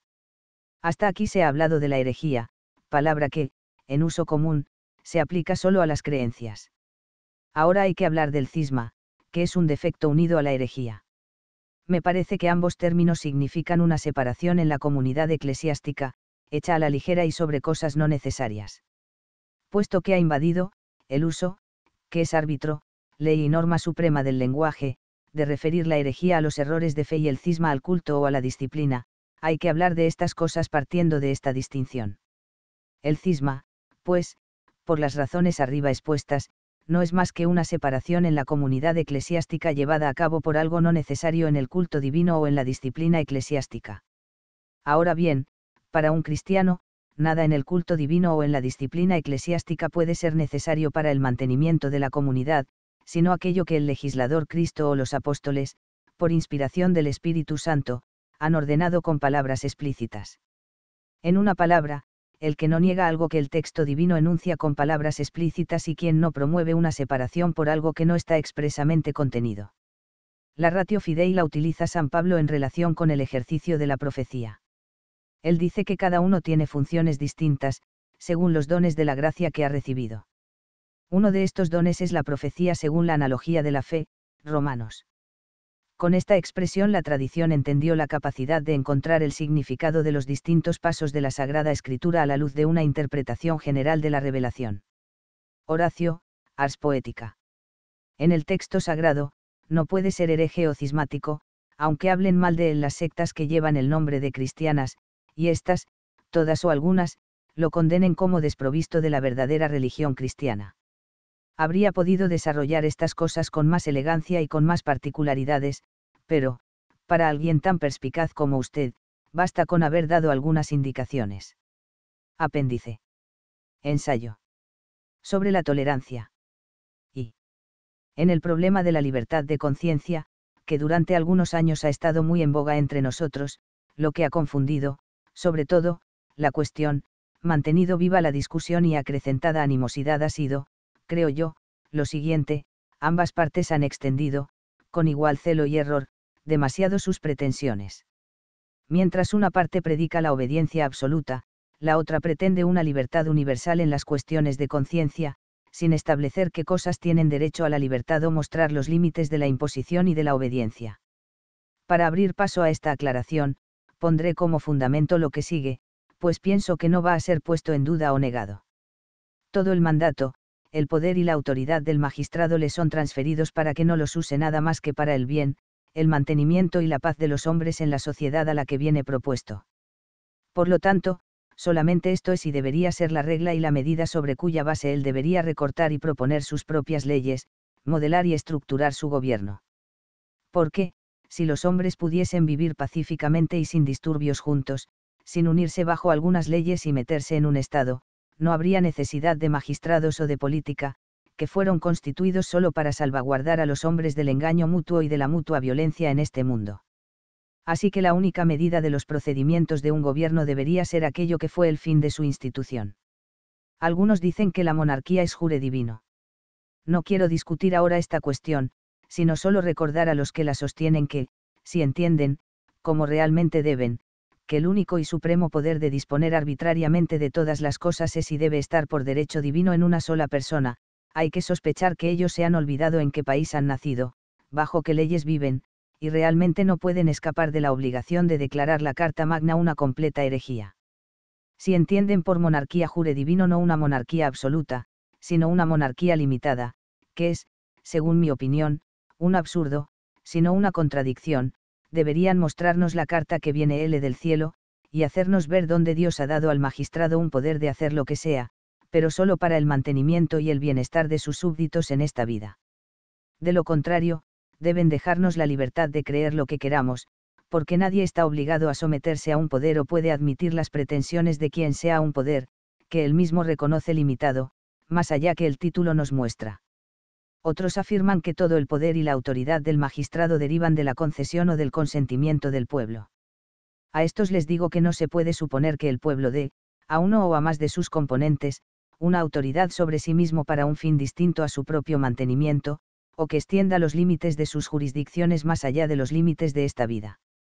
Establecido esto, o sea, que el magistrado no debería hacer nada o preocuparse de nada, si no es con el fin de asegurar la paz civil y la propiedad de sus súbditos, consideremos ahora las opiniones y las acciones de los hombres, que, desde el punto de vista de la tolerancia, se dividen en tres tipos. En el primer tipo están comprendidas todas las opiniones y acciones que en sí mismas no se refieren ni al gobierno ni a la sociedad, y estas son las opiniones puramente especulativas y el culto divino. En el segundo tipo están las opiniones y acciones que por su propia naturaleza no son ni buenas ni malas, pero que, sin embargo, se refieren a son todas las opiniones prácticas entre los hombres, y estas y las acciones que se refieren a cosas indiferentes.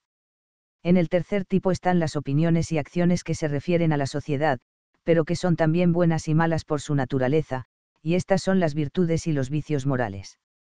Y digo que solo las opiniones y las acciones del primer tipo, o sea, solo las opiniones puramente especulativas, y el culto divino tiene derecho absoluto y universal a la tolerancia. En primer lugar, vienen las opiniones puramente especulativas como la creencia en la Trinidad, en el purgatorio, en la transubstanciación, en las antípodas, en el reino personal de Cristo en la tierra, etc. Que en estas cosas cada hombre tenga libertad ilimitada aparece del hecho que simples especulaciones no prejuzgan mis relaciones con los hombres, dado que no tienen ninguna influencia en mis acciones como miembro de una sociedad, sino que permanecen idénticas en sus consecuencias prácticas, incluso aunque no hubiera en este mundo ninguna otra persona más que yo, pero no pueden de ninguna forma ni perturbar al Estado ni provocar un perjuicio a mi vecino, y por conocer el magistrado. Además, ningún hombre puede dar a otro hombre, y no se ve por qué Dios debería dárselo, el poder sobre aquello sobre lo que él mismo no tiene ningún poder. Ahora bien, un hombre no puede ordenar a su inteligencia, o decidir hoy cuál será su opinión de mañana, es evidente por la experiencia o por la naturaleza de la inteligencia, que no puede conocer las cosas de forma distinta a cómo le aparecen, lo mismo que el ojo pueda ver en el arco iris colores distintos a los que ve, tanto si aquellos colores en realidad existen o no existen. Otra cosa que tiene una justa pretensión de tolerancia ilimitada es el lugar, el tiempo y el modo de adorar a mi Dios, porque este es un asunto que se refiere solo a Dios y a mí y tiene una importancia eterna sobre el ámbito y la extensión de la política y del gobierno, los cuales tienen como finalidad solo mi bienestar en este mundo. El magistrado es árbitro únicamente entre un hombre y otro, puede hacerme justicia contra mi vecino, pero no puede defenderme contra mi Dios. Cualquier mal que sufra por obedecerle en otras cosas él me puede resarcir en este mundo, pero, si me obliga a abrazar una religión falsa, no puede reparar su acto en el otro mundo. Dejadme añadir que, incluso en las cosas de este mundo sobre las que tiene autoridad el magistrado, no hace nunca nada, y sería injusto que lo hiciese más allá de lo que concierne al bien de todos, para imponer a los hombres el cuidado de sus asuntos civiles privados o para ayudarles a conseguir sus intereses privados, sino que les protege únicamente de las violencias y de las injusticias que podrían sufrir por parte de otros. En esto consiste la tolerancia perfecta. Por eso podemos suponer que el magistrado no tiene absolutamente nada que hacer en relación con mis intereses privados en el otro mundo, y que no debe prescribir cómo hay que conseguir el bien que para mí es mucho más importante que todo lo que está en su poder, ni debe pretender de mi diligencia para conseguirlo.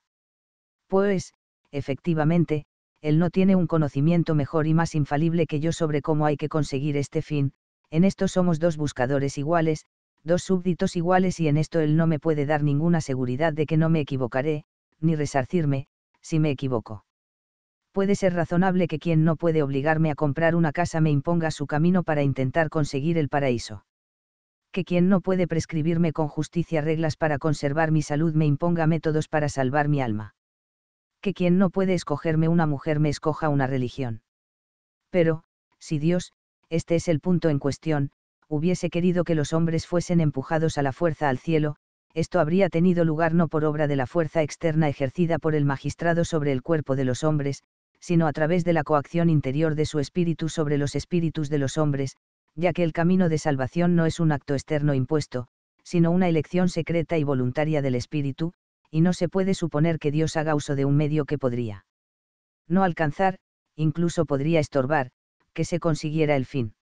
Ni se puede pensar que los hombres den al magistrado un poder de escoger para ellos su camino hacia la salvación, que es demasiado importante para poder renunciar, incluso parece imposible separarse de él, ya que, cualquier cosa que imponga el magistrado en el culto de Dios, los hombres deben en esto seguir necesariamente lo que ellos han pensando que es lo mejor, desde el momento que ninguna consideración podría ser suficiente para distraer al hombre de aquello que haya retenido, totalmente.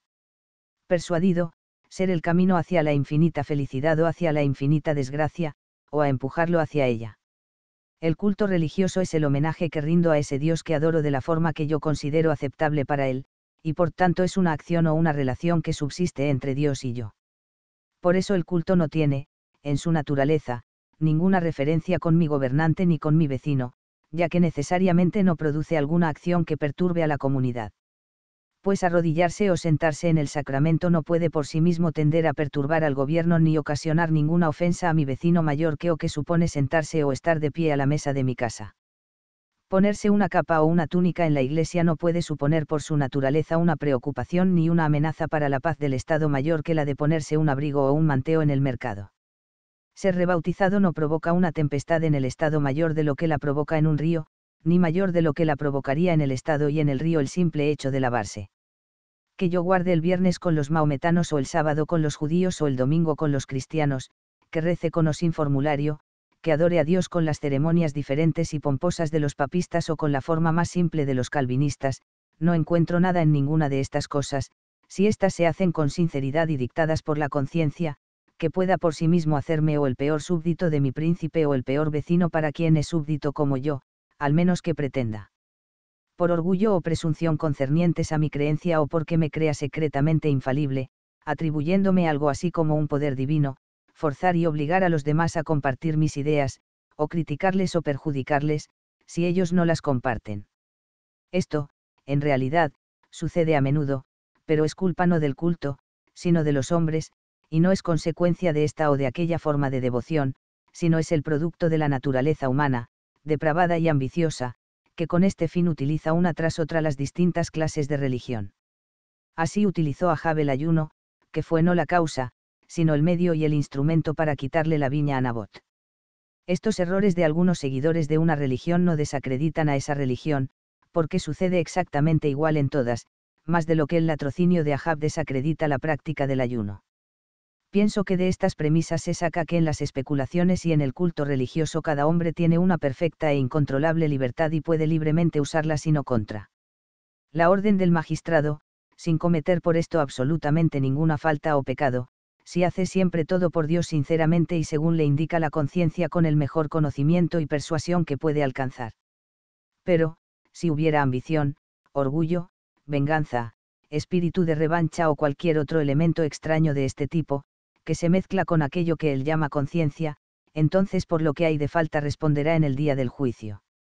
Tengo solo que añadir antes de dejar esta parte dedicada a las opiniones especulativas, que la creencia en una divinidad no debe contarse entre las opiniones especulativas, es el fundamento de toda moralidad e influencia completamente la vida y las acciones de los hombres y, sin ella, un hombre tiene que ser considerado parte de una de las especies más peligrosas de los animales salvajes, o sea, incapaz de cualquier tipo de sociedad.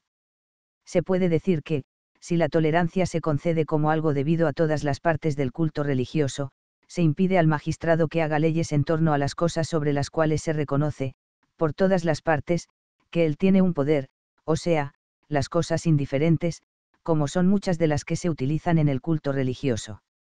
O sea, ponerse una vestimenta blanca o negra, arrodillarse o no arrodillarse, etc. Yo respondo a esta objeción que en el culto religioso nada es indiferente, porque yo pienso que la utilización de esos hábitos, de esos gestos, etc., y no otros es grato a Dios en el culto que se le dirige, aunque estos puedan ser por su naturaleza perfectamente indiferentes. Y, cuando adoro a mi Dios de una forma que yo pienso que ha sido prescrita por él y que él aprueba, no puedo cambiar, omitir o añadir una circunstancia en aquello que considero el verdadero culto.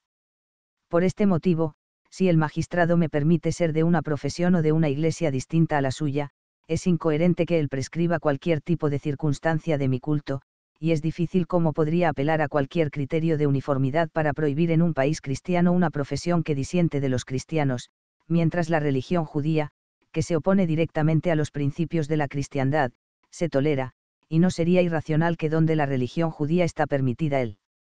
magistrado cristiano, con la pretensión de tener poder en las cosas indiferentes, impusiese o prohibiese algo o de alguna forma se interpusiera en los modos y maneras del culto judío. 2.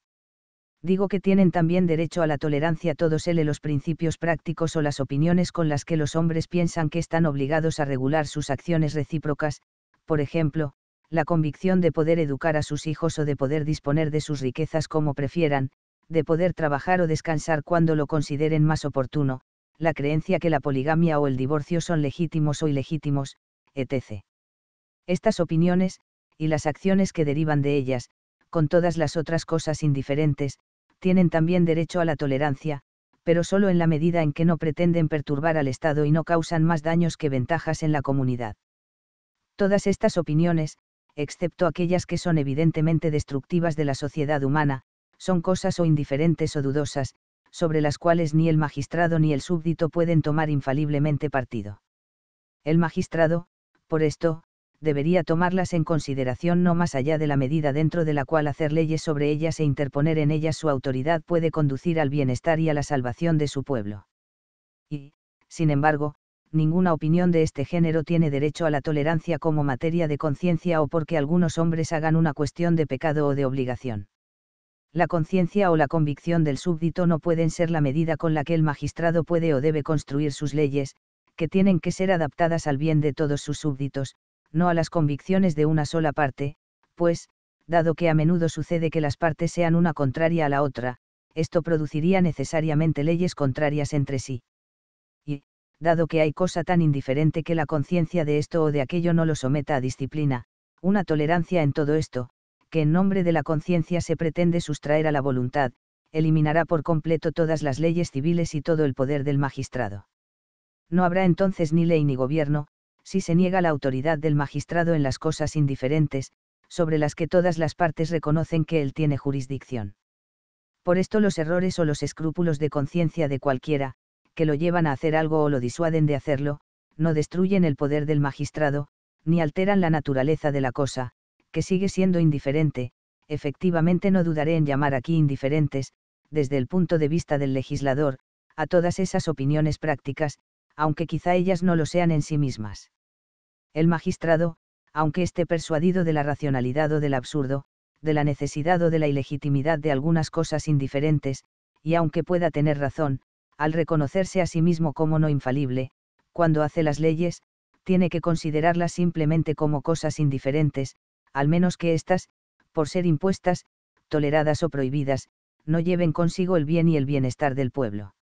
Sin embargo, al mismo tiempo, él está estrictamente obligado a adaptar sus acciones personales a los mandatos de su conciencia y a su convicción sobre esas opiniones. Pues, efectivamente, al no ser infalible en relación con los demás por el hecho de ser gobernante, el magistrado como hombre tiene que rendir cuentas a Dios en la vida futura del acuerdo de sus acciones con su conciencia y convicción, pero será responsable, como magistrado, de sus leyes y de la administración de las mismas, en cuanto éstas estén orientadas al bien, al mantenimiento y a la paz de todos sus súbditos en este mundo, en la mayor medida posible. Se trata de una regla tan segura y tan clara, que difícilmente el magistrado puede transgredirla, a no ser que quiera hacerlo de manera intencionada. Pero, antes de proceder a mostrar los límites de la obligatoriedad y de la libertad en relación con estas cosas, hay que hacer una lista de los distintos grados de imposición que se usan no se pueden usar en materia de opinión. La prohibición de publicar o divulgar cualquier opinión. La presión para que renuncie a una opinión o para que abjure de ella. La presión para admitir la opinión contraria correspondientes a estos hay los mismos grados de tolerancia. Por lo que concluyo.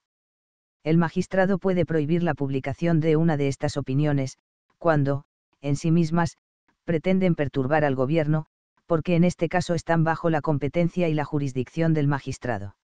Nadie debe ser presionado por la fuerza a renunciar a sus opiniones o a aceptar las opiniones contrarias a las de uno, porque una presión de este tipo no puede producir ningún efecto real para el fin por el que se utiliza.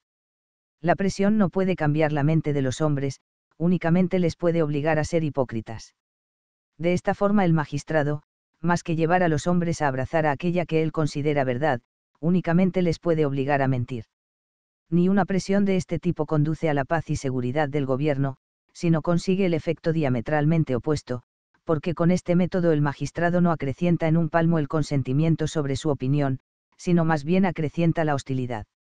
el magistrado tiene el poder de ordenar o prohibir todas las acciones que derivan de una de estas opiniones, como también de todas las otras cosas indiferentes, en la medida en que ellas conciernen a la paz, al mantenimiento y a la seguridad de su pueblo.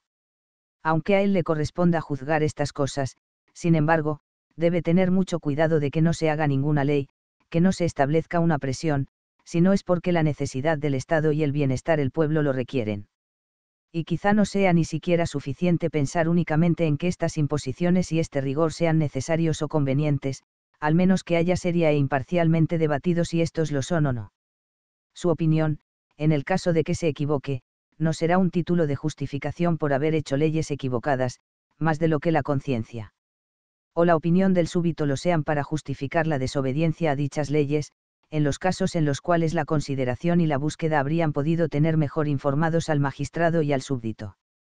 Creo que se conceda fácilmente que hacer leyes por cualquier otro fin, distinto a la seguridad del gobierno y a la protección del pueblo en la vida, riqueza y libertad, o sea, pro al mantenimiento de todo, encontrará la más enérgica condena en el alto tribunal, no solo porque el abuso del poder y del mandato, que está en las manos del legislador, produce a la humanidad, para cuyo bien fueron únicamente instituidos los gobiernos, daños mayores y más irreparables que cualquier otro, sino también. Porque el magistrado no es responsable ante ningún tribunal terreno. No puede haber una acusación mayor que esta ante el Supremo Conservador de la Humanidad, que el magistrado haga del poder que le ha sido asignado solo para la conservación de todos sus súbditos y, entre estos, de cada persona en particular, en la medida en que esto es posible, un uso distorsionado al servicio de sus gustos, de su vanidad o de su pasión, y lo emplee para destruir la paz de sus semejantes, respecto a los cuales él es distinto ante el Rey de Reyes solo por una diferencia pequeña y accidental, o para oprimirlos. Si el magistrado interviene en estas opiniones o acciones con leyes e imposiciones para intentar presionar y enderezar a los hombres en sentido contrario a las sinceras convicciones de su conciencia, ellos tienen que hacer lo que su conciencia les indica, en la medida en que ellos lo puedan hacer sin recurrir a la violencia, pero están obligados al mismo tiempo a someterse pacíficamente al castigo que la ley les inflige por una desobediencia de este tipo. De esta forma ellos se aseguran su gran interés fundamental en el otro mundo y no perturban la paz de éste, no faltan a su obediencia para con Dios o para con el rey, sino que dan a entrambos lo que les corresponde, y tanto el interés del magistrado como el de ellos queda a salvo. Es realmente un hipócrita, utiliza la conciencia solo como pretexto y fija la vista en cualquier otra cosa en este mundo quien no quiere, obedeciendo a su conciencia y sometiéndose incluso a la ley, procurarse para sí el paraíso y la paz para su país, a veces, con el precio de su patrimonio, de la libertad o de la misma vida. Pero incluso la persona privada en este caso, como el magistrado en el caso anterior, debe tener mucho cuidado de no ser extraviado por su conciencia o por la opinión en la búsqueda obstinada de algo entendido como necesario o el obstinado rechazo de algo como ilegítimo, cuando en realidad ni lo uno ni lo otro son tales, debe ser retenida por el temor de que se le castigue tanto en este como en el otro mundo por la desobediencia debida a error u obstinación. La libertad de conciencia es el gran privilegio del súbdito, como el derecho de imposición es la gran prerrogativa del magistrado, por este motivo hay que vigilarlos lo más estrictamente posible para que no les desvían al magistrado o al súbdito con sus justas pretensiones. Estos errores, por ser los más peligrosos, tienen que evitarse con mucho cuidado, y son los que Dios castigará con la mayor dureza, porque son errores cometidos bajo los engañosos semblantes y apariencias del derecho. 3.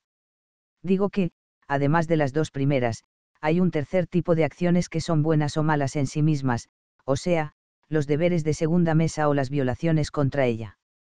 O sea, las virtudes y los vicios morales de los que hablan los filósofos. Estas, aunque constituyan la parte vigorosamente activa de la religión, y en ellas la conciencia de los hombres esté muy comprometida, sin embargo, por lo que me consta, tienen solo una pequeña parte en las discusiones sobre la libertad de conciencia. No sé si es verdad que los hombres, si fueran más celosos de estas cosas, lo serían menos de otras, pero es verdad que el estímulo de la virtud es un sostén necesario para un Estado y ceder ante algunos vicios trae a la sociedad turbación y ruina tan seguras, que nunca se ha encontrado un magistrado que pretendiese establecer el vicio con una ley o prohibiese la práctica de la virtud. Esta por su autoridad y por las ventajas que supone a todos los gobiernos merece en todas partes el estímulo del magistrado.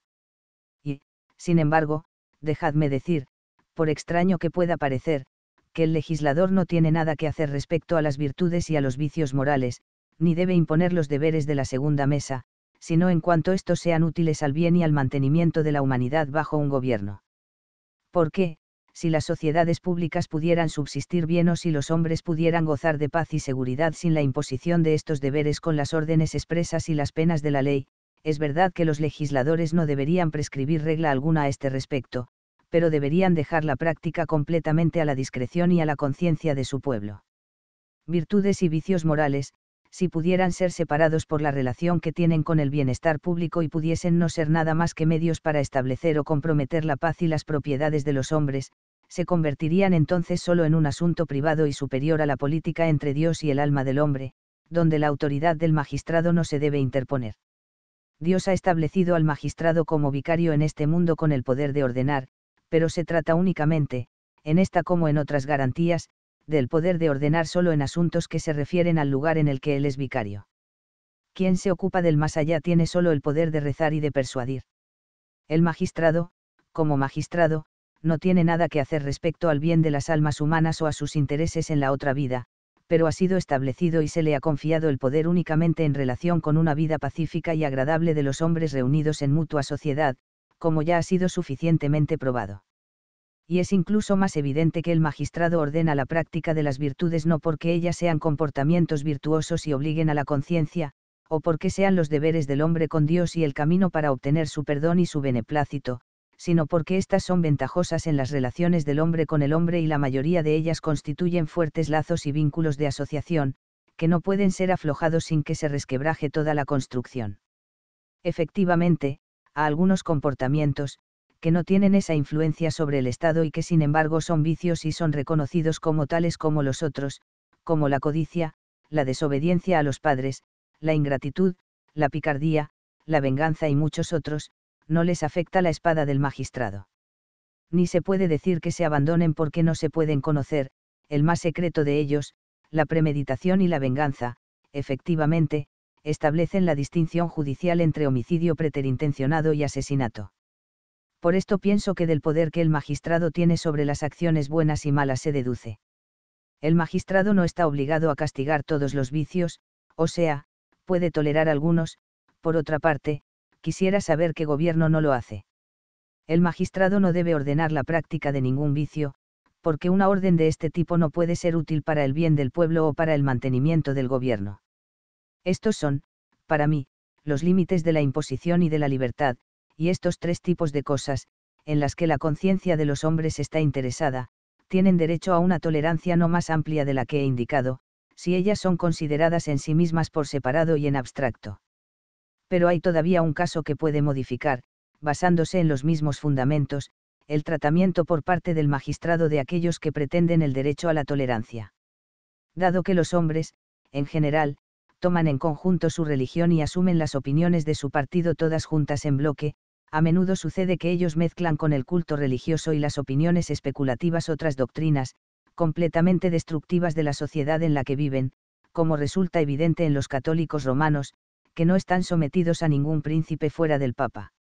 A estos, que mezclan estas opiniones con su religión, que las respetan como verdades fundamentales, que se someten a ellas como a artículos de fe, el magistrado no les debe tolerar en el ejercicio de su religión, al menos que él tenga la seguridad de poder conceder una parte sin que se difunda la otra, y sepa con certeza que esas opiniones no serán absorbidas y tomadas por todos aquellos que se comunican con ellos en el culto religioso, algo que resulta muy difícil que suceda. Y lo que puede hacer a estos todavía más inadaptados a la tolerancia es que un príncipe vecino, que pertenece a su misma religión, esté dispuesto a impulsar y a ayudar en cualquier ocasión que se presente estas doctrinas peligrosas para el gobierno. Contra la tolerancia normalmente se objeta que el magistrado, teniendo la obligación de mantener la paz y la tranquilidad del gobierno, está obligado a no tolerar religiones diferentes en su país, porque éstas, al tener distinciones bajo las que los hombres se unen y se reagrupan en cuerpos separados del cuerpo público, pueden dar ocasión a desórdenes, conspiraciones y sediciones en el Estado, y poner en peligro el gobierno. Respondo que, si todas las cosas que pueden dar ocasión a desórdenes o conspiraciones en un Estado no tuvieran que ser soportadas, todos los hombres descontentos y activos tendrían que ser exiliados, y el murmullo debería ser menos tolerado que el discurso, ya que es mucho más adecuado para promover y fomentar una conspiración. Y, si una reagrupación de hombres, reunidos en unión o corporación, distinta del cuerpo público, sobre todo las grandes, tendría que ser inmediatamente disuelta. Los hombres unidos en una fe religiosa tienen poco interés en oponerse al gobierno, quizá menos que los unidos bajo el privilegio de una corporación. Estoy seguro de que son menos peligrosos, en cuanto que están más desunidos y no organizados.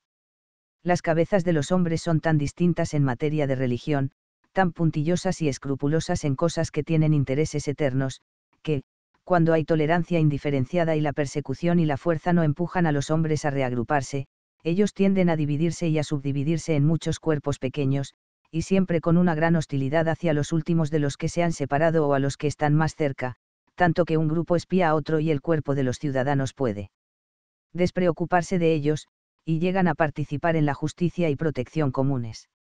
Y, si el ejemplo de la Roma antigua, donde eran promiscuamente toleradas diferentes opiniones, dioses y tipos de culto, tiene algún valor, tenemos razón al imaginar que ninguna religión puede ser, a los ojos del Estado, sospechosa de malas intenciones en relación con el Estado, hasta que el gobierno, con un trato parcial de sus seguidores, diferente al reservado al resto de los súbditos, no declare sus malas intenciones en relación con ella, y así haga de su religión un asunto de Estado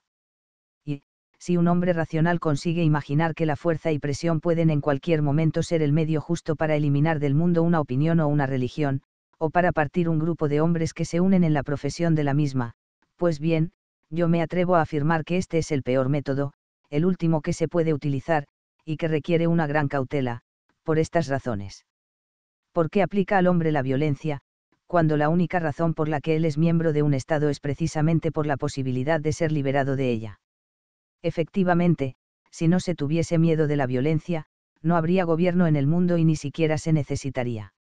Porque el magistrado, usando la fuerza, niega en parte lo que pretende hacer, que es la consecución de la seguridad de todos. El mantenimiento, en la mayor medida posible, de la propiedad, de la paz y de la vida de cada individuo es su deber, por eso está obligado a no perturbar o destruir a unos por la paz y la seguridad de otros, hasta que no haya hecho la prueba de si existen formas de salvar a todos.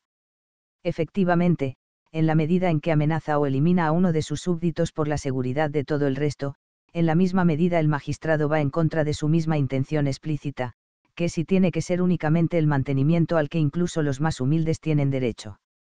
Sería un método curativo poco compasivo ni acertado, que nadie utilizaría y al que nadie se sometería, cortar un dedo del pie ulcerado, incluso, aunque pueda tener gangrena, antes que otros remedios más suaves hayan resultado ineficaces, aunque se trate de una parte que está a nivel del suelo y muy distante de la cabeza. Se me está ocurriendo una objeción que se podría hacer a este posicionamiento, los métodos lentos, que prevén la aplicación de remedios más blandos, pueden hacernos perder la ocasión de usar los remedios que, si se adoptan inmediatamente, serían eficaces, mientras, en nuestro modo de proceder poco enérgico, la enfermedad crece, la facción se hace fuerte, gana la cabeza y se convierte en vuestro amo. A esto respondo que partidos y facciones crecen lenta y gradualmente, tienen su tiempo de infancia y de debilidad, como el de plena madurez y de fuerza, y no se hacen temibles en un instante, sino que dan tiempo suficiente para experimentar otros tipos de cura, sin que el retraso sea peligroso. Pero, si el magistrado corre el riesgo de encontrar tantos disidentes que están en grado de competir con él, no veo que puede ganar con la fuerza y la dureza, desde el momento en que, de esta forma, les da un buen pretexto para unirse en un solo cuerpo y armarse y hacerse, todos unidos, más firmes contra él.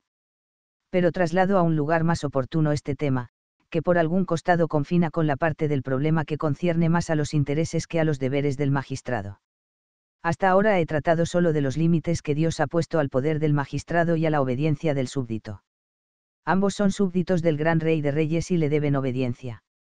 Él espera que cumplamos los deberes a los que estamos obligados según los distintos rangos y condiciones en los que nos encontramos.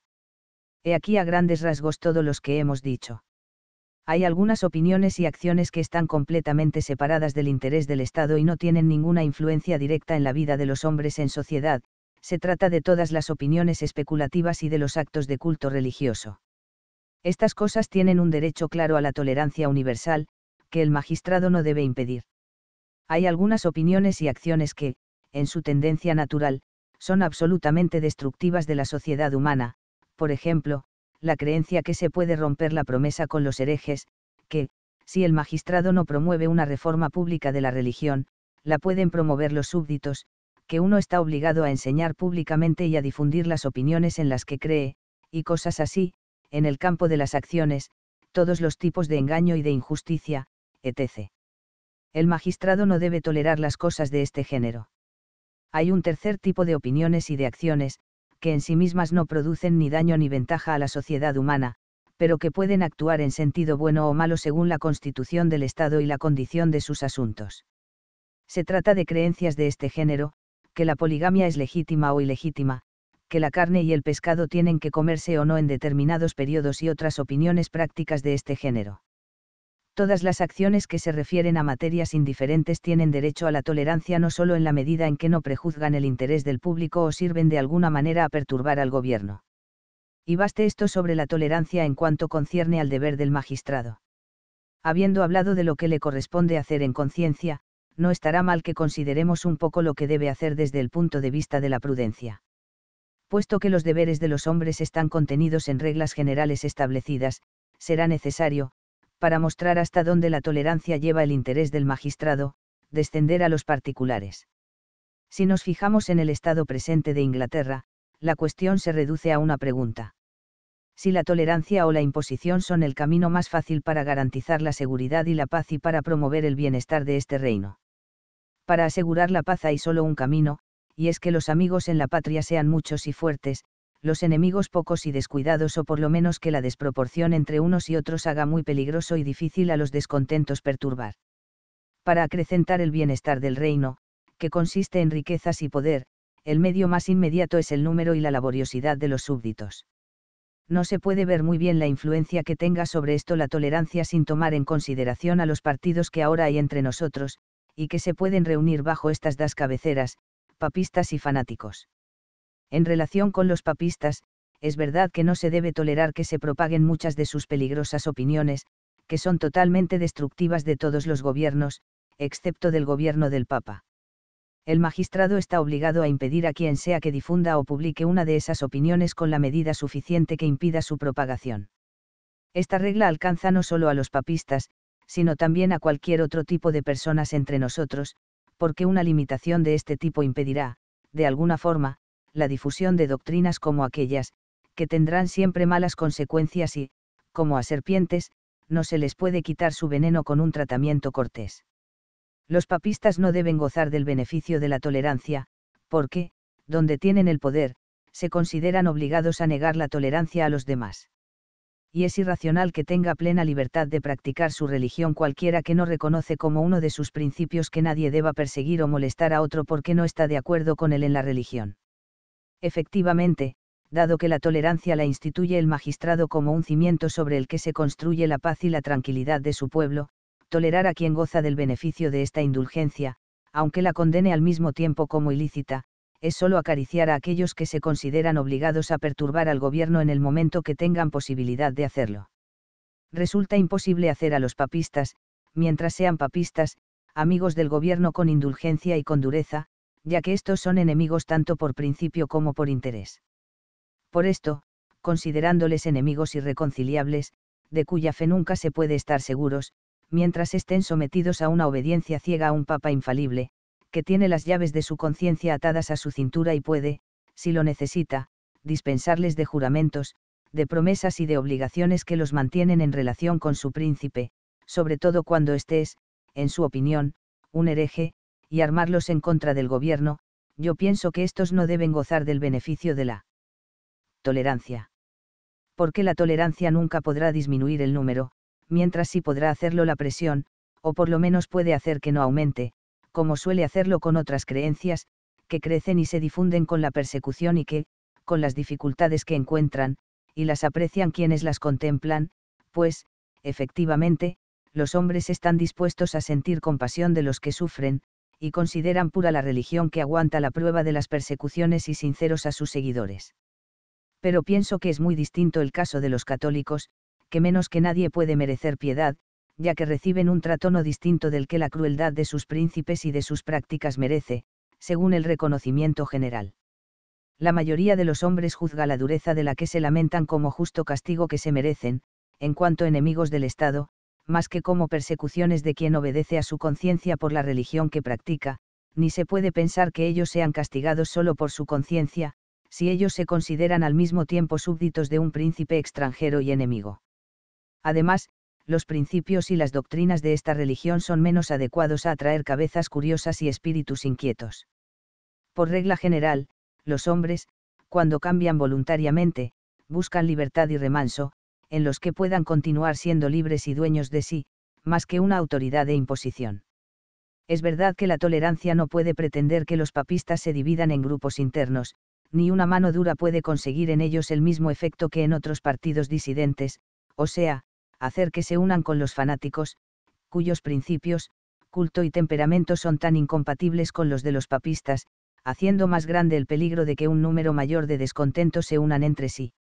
Se añada que el papado, habiendo sido impuesto en un mundo fanático e ignorante con la astucia y la intriga de su clero, habiéndose mantenido con los mismos subterfugios y basándose en el poder y la fuerza, está expuesto a la decadencia más que cualquier otra religión, donde el poder secular trata duramente a sus seguidores y por lo menos les quita esos estímulos y apoyos que reciben de su clero. Pero la represión de los papistas, aunque no disminuya el número de nuestros enemigos, trayendo a alguno de ellos a nuestro campo, sin embargo, acrecienta el número de nuestros enemigos, los refuerza y ata más sólidamente a todo el partido protestante a nuestra asistencia y defensa. Pues, el interés del rey de Inglaterra, como cabeza de los protestantes, sacará provecho del desaliento del papismo entre nosotros, los distintos partidos se unirán pronto en alianza común con nosotros, cuando se percaten de que nosotros estamos realmente separados del enemigo común de nuestra Iglesia y unidos a todas las profesiones protestantes, y que estamos enfrentados con él, y esto será un signo de nuestra alianza con ellos y una garantía y que no serán engañados en la confianza que han depositado en nosotros y que nosotros somos sinceros en el acuerdo que establecemos con ellos.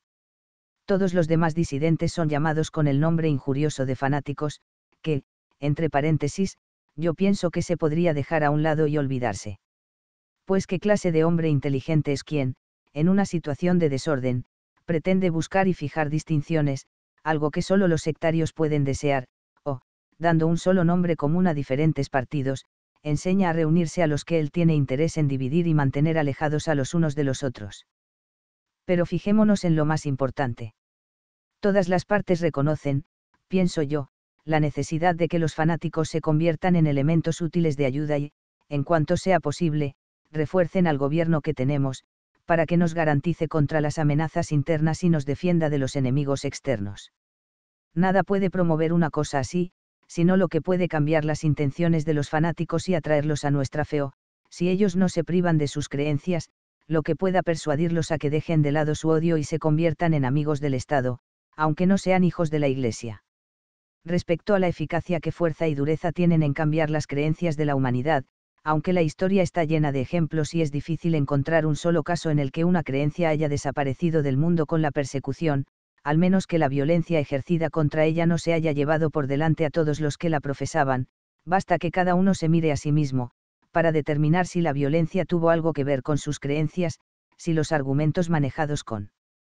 fogosidad no pierden parte de su eficacia y no lo han convertido en más obstinado en su opinión, es tan celosa la naturaleza humana en conservar la libertad de esa parte en la que descansa la dignidad de un hombre, que aceptar una imposición haría al hombre poco distinto de la bestia. Pregunto a aquellos que en los últimos tiempos soportaron con tanta firmeza la fuerza ineficaz de las persecuciones y constataron el poco éxito que tuvieron éstas en sus creencias, y, sin embargo, ahora son propensos a utilizarlas con los otros, si toda la dureza de este tipo podría haberse empujado un paso a una aceptación convencida y sincera de las creencias entonces dominantes. No me digan que entonces ellos sabían que estaban en lo justo, porque todos los hombres están convencidos de que están en lo justo en aquello que creen pero se puede ver lo poco que esta obstinación y esta constancia dependen del conocimiento en esos galeotes que vuelven de Turquía, los cuales, aunque hayan soportado todo tipo de miseria antes de renunciar a su religión, sin embargo, por lo que podemos atisbar por la vida y por los principios de la mayoría de ellos, no tenían conocimiento alguno de la doctrina y la práctica del cristianismo. ¿Quién no cree que esos pobres prisioneros, los cuales, renunciando a una religión en la que no estaban muy instruidos y de la que, mientras gozaban de libertad en su patria, no eran muy celosos, habrían podido conseguir su libertad cambiando sus creencias, no habrían, si sus cadenas se lo hubieran permitido, cortado el cuello a esos crueles patronos que les trataban con tanta dureza, mientras no habrían adoptado ningún tipo de violencia con ellos, si les hubiesen tratado como normales. Prisioneros de guerra. De lo que se deduce que sería un intento temerario, si a alguno se le pasa por la cabeza llevar una isla así en la condición de una galera, donde la mayoría de sus habitantes quede reducida a la condición de esclavos, se les ordene a golpes de látigo a empujar la nave a fuerza de remos, pero no tiene ninguna parte de la carga ni derecho alguno a ser protegido, al menos que quiera preparar las cadenas para todos aquellos que deben ser tratados como turcos y persuadirlos de que estén tranquilos. Mientras se les atan con cadenas. Prediquen los eclesiásticos cuanto quieran sobre el deber, pero no se sabe que alguna vez los hombres se hayan sometido tranquilamente a la opresión y hayan ofrecido su espalda a los golpes que les propinaban, si pensaban que tenían la fuerza suficiente para defenderse. Digo esto no para justificar los comportamientos que creo haber suficientemente condenado en la parte anterior de este discurso, sino para mostrar cuál es la naturaleza y el comportamiento de los hombres, y cuál es, en general, la consecuencia de la persecución. Además, la admisión forzada de creencias retiene a la gente de estar de acuerdo con ellas, metiendo en los hombres la inevitable sospecha de que, con esos métodos, haciendo prosélitos a la fuerza, no se pretende hacer que progrese la verdad, sino que se tenga como punto de mira el interés y el dominio. ¿Quién utiliza este método para convencer a alguien de la verdad de las matemáticas? Probablemente se diga que estas son verdades de las que no depende mi felicidad. Estoy de acuerdo, y reconozco deber mucho a quien se preocupa de mi felicidad, pero es difícil pensar que lo que exige un trato tan malo de mi cuerpo derive del amor por mi alma, o que está tan interesado en mi felicidad en el otro mundo aquel a quien le gusta verme desgraciado en este. Yo me sorprendo que aquellos que tienen una atención tan celosa por el bien de los demás no se fijen algo más en socorrer a los pobres o no piensen que se les considera protectores de los bienes de los ricos, que realmente son también buenos y forman parte de la felicidad de una persona, si creemos en la forma de vida de los que nos hablan de las alegrías del paraíso, pero intentan, igual que los demás, acumular las mayores propiedades sobre la tierra. Pero, después de todo, si la persecución pudiese conquistar, no solo de forma esporádica, un delicado, tímido fanático, algo que, sin embargo, sucede raramente y, por añadidura, suele ir acompañado de la pérdida de dos o tres ortodoxos, si pudiese, digo, atraer de golpe a todos los disidentes en el recinto de la Iglesia, con esto ella no garantizaría, sino más bien amenazaría al gobierno y convertiría el peligro en tanto más grave cuanto es tener un enemigo sospechoso, secreto, pero desesperado, más bien que un adversario abierto y leal. Pues, efectivamente, castigos y miedo pueden conseguir que los hombres rompan sus uniones, pero, como no convencen la razón de nadie, no pueden pretender inducir a los hombres a que acepten una creencia, más bien les inducen a odiar a sus perseguidores y meterán en ellos un mayor rechazo hacia sus personas y hacia sus creencias. En esta situación los dóciles prefieren la impunidad a la declaración de sus opiniones, pero no por este motivo aprueban las nuestras. El miedo del poder, no el amor por el gobierno, es lo que les detiene, y, si esta fuese la cadena que les liga a vosotros, los vincularía realmente con mayor seguridad, si ellos fuesen abiertamente disidentes, más que descontentos secretos, porque ella sería no solo algo fácil de ponerse, sino también algo difícil de quitarse de encima. Esto es verdad, si se intenta empujar a los hombres a que compartan vuestras opiniones, todos los distintos métodos para intentar convencerles que son opiniones verdaderas no les convierten en vuestros amigos más que empujar a los pobres indios a los ríos, para que sean bautizados, les haya hecho cristianos. La fuerza no puede dominar las creencias de los hombres ni plantar algunas nuevas en sus pechos, lo pueden hacer la cortesía, la amistad y un trato delicado. Efectivamente, muchos hombres, a los que las ocupaciones o la pereza les impiden examinarlas, aceptan muchas de sus opiniones, incluso en materia de religión, por la confianza en los demás, pero no las toman nunca de nadie del que no conocen con seguridad su saber, su amistad y su sinceridad, ahora bien, es imposible que reconozcan estas cosas en quien los persigue. Pero los hombres que tienen espíritu de búsqueda, aunque no acepten las ideas de otro por la amabilidad que éste demuestra, sin embargo, están más dispuestos a dejarse convencer y más preparados a examinar las razones que pueden persuadirles a abrazar la opinión de aquel que ellos se sienten obligados a querer. Y, puesto que la fuerza es un método equivocado para alejar a los disidentes de sus convicciones, mientras que, trayéndoles a vuestra creencia, les ligáis establemente al Estado, la fuerza conseguirá mucho menos que sean amigos vuestros aquellos que mantienen resueltamente sus convicciones y persisten en una opinión distinta a la vuestra.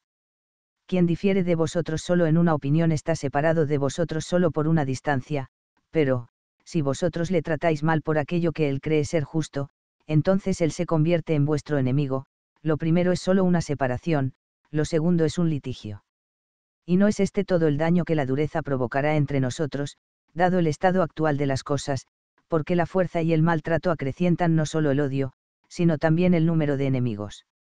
Efectivamente, los fanáticos, tomados en conjunto, aunque sean numerosos, y quizá más numerosos de los amigos devotos de la religión de Estado, están fraccionados en distintos partidos, que mantienen entre ellos la misma distancia que les separa de vosotros, si vosotros no los alejáis más con el maltrato que reciben, ya que sus creencias son recíprocamente tan incompatibles como lo son con las de la Iglesia de Inglaterra.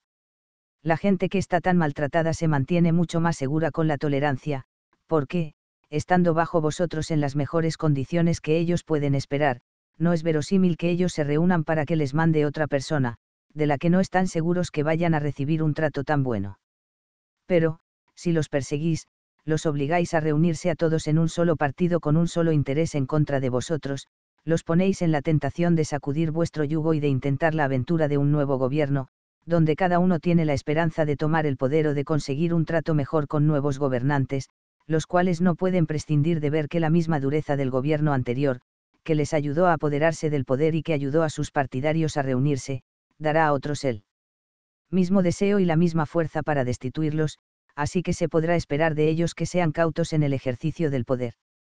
Pero, si pensáis que los distintos partidos ya han llegado a cierta consistencia y se han constituido en un solo cuerpo, en torno a un interés común en contra de vosotros, sea o no el duro trato sufrido bajo vosotros lo que les ha hecho unirse, cuando ellos son tan numerosos que se pueden considerar iguales o superiores a vosotros en número, como igual sucede ahora en Inglaterra, la fuerza será simplemente un método malo y peligroso para someterlos.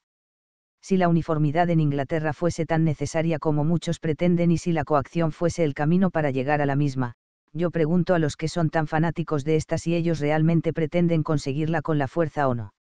En caso contrario, supone no solo imprudencia, sino mala fe, privar, con este pretexto, de la paz a sus hermanos y atormentarlos con castigos ineficaces.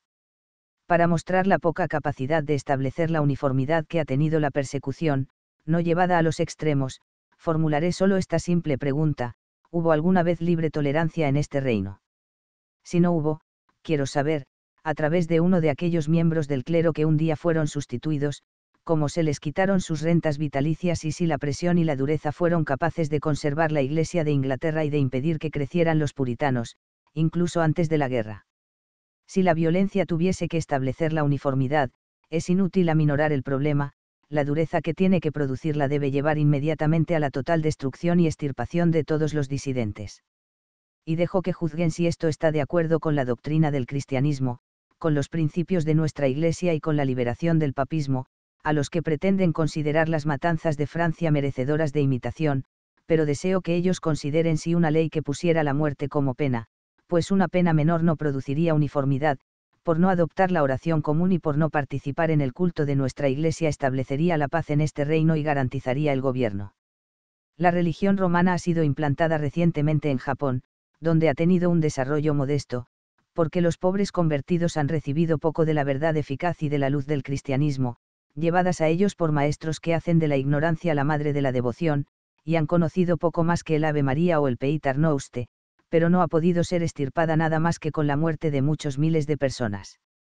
Y ni siquiera esta medida consiguió disminuir el número de convertidos hasta que la dureza de trato no se extendió más allá de los culpables y se amenazó con la muerte no solo a la familia que hospedaba a un sacerdote, sino también a todos los miembros cercanos de ambas familias, de una y otra parte, aunque fueran extraños o enemigos de la nueva religión. Y se inventaron torturas refinadas y prolongadas, peores que mil muertes juntas, tanto que, aunque algunos tuvieron fuerza suficiente para soportar 14 días seguidos, muchos renunciaron a su religión. Sus nombres se registraron con esta intención, cuando los seguidores del cristianismo fuesen destruidos, también matarían a todos estos, a todos en un día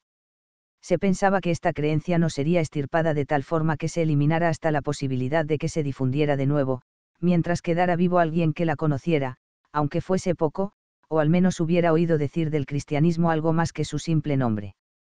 Ni siquiera ahora se tolera a los cristianos, que comercian allí, hablen, junten las manos o hagan un gesto que pueda mostrar un carácter típico de su religión. Si alguien piensa que la uniformidad debe ser restaurada en nuestra Iglesia, incluso a costa de utilizar métodos como este, hará bien en considerar cuántos súbditos el rey querrá dejar con vida después de que hayan sido aplicados estos métodos. Pero hay todavía algo que anotar en el caso que hemos citado, y es que la persecución no nace del intento de establecer la uniformidad religiosa, porque los japoneses toleran siete u ocho sectas, y algunas tan diferentes entre sí como es la creencia en la mortalidad de la creencia en la inmortalidad del alma, el magistrado no pretende saber a qué secta pertenecen sus súbditos y no hace ningún intento para obligarles a seguir su religión, ni la persecución se debió a una cierta animadversión. Hacia el cristianismo, tanto que ellos soportaron durante bastante tiempo que creciese entre ellos, hasta que la doctrina de los sacerdotes papistas les hizo sospechar que la religión era simplemente un pretexto, pero que la intención real era el poder político, y les hizo temer un derrocamiento del Estado. Sus sacerdotes hicieron todo lo posible para acrecentar esta sospecha, hasta que provocaron la extirpación de esta religión naciente. Pero he aquí los peligros que lleva consigo el establecimiento de la uniformidad. Para dar un cuadro completo de este argumento nos faltan aún estos particulares, que se deberían tratar. Mostrar cuánta influencia es verosímil que la tolerancia tenga con el número y la laboriosidad de la población, factores de los que depende el poder y la riqueza del reino. Si la fuerza tiene que obligar a todos a entrar en una estructura uniforme en Inglaterra, considerar qué partido por sí solo o qué partidos hay que formar para suministrar la fuerza capaz de obligar a los demás mostrar que todos aquellos que hablan contra la tolerancia parecen presuponer que dureza y fuerza son las únicas artes de gobierno y los únicos medios para eliminar cualquier facción, algo que es un error. Que para la mayoría las cuestiones que dan lugar a las controversias y sobre cuya base se distinguen las sectas no son partes de la verdadera religión o son partes muy marginales y apéndices. Considerar cómo puede ser que la religión cristiana ha producido más facciones, guerras y turbulencias en las sociedades civiles que cualquier otra, y si la tolerancia o la amplitud prevengan estos males. Que la tolerancia lleva a la fundación de un gobierno dando a la mayoría uniformidad de intención, y alienta en toda la virtud. Esto se consigue haciendo y aplicando leyes rigurosas concernientes a la virtud y al vicio, pero haciendo los términos de la comunidad eclesiástica lo más amplio posibles, o sea, haciendo que vuestros artículos en las creencias especulativas sean pocos y largos, y las ceremonias en el culto pocas y simples, lo que constituye la amplitud. Definir e intentar demostrar muchas doctrinas que se reconocen incomprensibles, que no tienen que ser conocidas si no es por revelación y que requieren la aprobación de los hombres en los términos propuestos por los doctores de vuestras distintas iglesias, crea necesariamente un gran número de ateos. Pero de estas cosas hablaré cuando tenga tiempo. Esbozo del ensayo. Sobre la tolerancia. Para formular correctamente la cuestión de la tolerancia supongo que solo hay dos tipos de cosas que tienen derecho a la tolerancia. El primer tipo está constituido por todas las opiniones puramente especulativas, como la fe en la Trinidad, en el pecado original, en las antípodas, en los átomos, todas estas cosas no tienen ninguna referencia con la sociedad. Lugar, tiempo y modo del ejercicio de culto de mi Dios. En estos dos tipos de cosas los papistas y toda la humanidad parecen que conceden título a la tolerancia. Las especulaciones puras no prescriben regla alguna a las acciones mías que se refieren a otras personas. Estas permanecerían como son, aunque en el mundo no existiesen otras personas, además de yo mismo, y, por eso, no pueden ni perturbar al Estado ni producir ningún trastorno a mi vecino. Debería tener libertad en mi culto religioso, porque se trata de una cosa entre Dios y yo, y tiene una importancia eterna, mientras que el magistrado es árbitro solo entre un hombre y otro él puede hacerme justicia contra mi vecino, pero no puede defender contra mi Dios. De cualquier mal que sufra por obedecerle en otras cosas él me puede resarcir en este mundo, pero, si me obliga a abrazar una religión falsa, no puede reparar su acto en el otro mundo. Por esto mismo no se puede suponer que los hombres den al magistrado el poder de que ellos puedan escoger el camino a la salvación, que es demasiado importante para que se pueda renunciar al mismo, si no consideramos que sea imposible separarse de él, ya que, cualquier cosa imponga el magistrado en tema de religión, los hombres deben seguir en esto necesariamente lo que ellos mismos han pensando que sea lo mejor, desde el momento en que ninguna consideración podría ser suficiente para alejar al hombre de la que tenga, completamente persuadido de que sea el camino hacia la infinita felicidad o hacia la infinita desgracia, o a empujarlo hacia ella. Supongo que todas las demás acciones, excepto las que pertenecen al culto religioso, o las opiniones que tienen eficacia directa en las acciones relativas a otros hombres, no tienen ningún derecho a la tolerancia, puesto que acciones u opiniones del género pueden ser para mi materia de conciencia. Efectivamente, la persuasión de la verdad de una opinión o del carácter bueno o malo de una acción obligan en conciencia, por banal que sea la cosa en sí misma. El interés total de la sociedad está en manos del poder del magistrado, y la parte moral del mismo está suficientemente garantizada. Pues, la distinción entre virtud y vicio se conoce con tanta perfección y certeza en toda la humanidad, y la instauración del vicio lleva en sí tanto desorden y ruina en toda sociedad, que no resulta fácil suponer que un magistrado establezca imponer el vicio por ley o castigar la virtud, y nunca se ha encontrado un magistrado así. Los deberes, o, más bien, la religión, porque esta es la parte importante y activa de la religión, de la segunda mesa se afirman suficientemente por sí solos en todas partes, por su autoridad y por los beneficios que ellos traen a los gobiernos. Luego no nos quedan nada más que las cosas indiferentes, excepto las que constituyen partes o circunstancias del culto que presto a Dios. Estas, a pesar de que las personas privadas pueden aprobarlas o desaprobarlas, sin embargo, recaen sin ningún género de dudas bajo el poder coercitivo del magistrado. De lo contrario, no podría haber ley ni gobierno. Los errores y los escrúpulos de mi conciencia, que me inducen a hacer una cosa o me disuaden de que la haga, no destruyen el poder del magistrado, no alteran la naturaleza de la cosa y no cambian mi obligación de obedecerla. Supongo que, ya que el mantenimiento del pueblo y su paz son la regla y medida que el magistrado debe utilizar para hacer las leyes y formar gobierno, él no tiene nada que hacer en el campo de las opiniones especulativas o del culto religioso, porque estas cosas en sí mismas no tienen tendencias que puedan disturbar al gobierno más que pueden disturbarlo el hecho de ser morenos o llevar trajes grises. Y, sin embargo, si los que profesan determinado culto mezclan con su religión otras opiniones, a la luz de las cuales regulan su relación con los vecinos, por ejemplo, que están obligados a forzar a los demás para que se adhieran a su opinión, que no se debe cumplir la promesa hecha a los herejes, o sea, a los que tienen otra convicción, etc., y consideran estas opiniones sagradas y necesarias como cualquier otra parte de su religión, lo que en realidad no es, no obstante esto, esta parte recae absolutamente bajo el poder del magistrado, y sobre ella él puede usar su jurisdicción en la forma que considere oportuno, sin perjudicar a sus súbditos, ya que él no interviene en su religión, sino en cuanto pertenece puramente al dominio civil, aunque ellos piensen que en conciencia están obligados a esa parte de su religión. Basándonos en este punto, supongo que los papistas, por la forma en que han constituido su religión, no tienen derecho a la tolerancia más allá de lo que el magistrado considere conveniente. En caso contrario, si los que profesan un determinado culto se hacen tan numerosos e inquietantes que suponen un obstáculo para el Estado, el magistrado puede usar las formas que considere convenientes para prevenir el daño con algún artificio o con el ejercicio directo del poder. Aunque tuviese que utilizar la fuerza y la dureza, si considera que el modo adecuado para debilitar a estas personas, él en realidad no perseguiría su religión, ni les castigaría por la religión que profesan, lo mismo que en una batalla el comandante no mata a hombres porque lleven cintas blancas en el sombrero o porque lleven otro distintivo, sino porque se trata de una señal de que son enemigos y peligrosos. La religión, o sea, esta o aquella forma de culto, es sólo la causa de su unión y de su solidaridad, no de su sedición o de su rebeldía rezar a Dios en un lugar o en otro, en una posición o en otra o cualquier otra parte de la religión en sí no hace a los hombres recíprocamente enemigos o produce sediciones más de lo que haga llevar sombreros o turbantes. Y, sin embargo, esas formas de rezar o esas formas de vestir pueden tener aquellos efectos, siendo un signo de distinción y dando a las personas la oportunidad de contar sus tropas, de conocer sus fuerzas, de reconocerse unos a otros y de reunirse inmediatamente a la primera consigna. Por este motivo, se les impone cierto control no por una opinión más que por otra, sino porque un número importante de personas disidentes, que siguen una determinada opinión, podría ser peligroso. Lo mismo podría suceder si una moda de vestir, distinta a la del magistrado y a la de los que le son fieles, al principio fuese seguida por pocos y luego, gradualmente, se difundiese y se convirtiese en el distintivo de una parte muy considerable de la población, que tuviese una estrechísima solidaridad y relaciones de amistad interna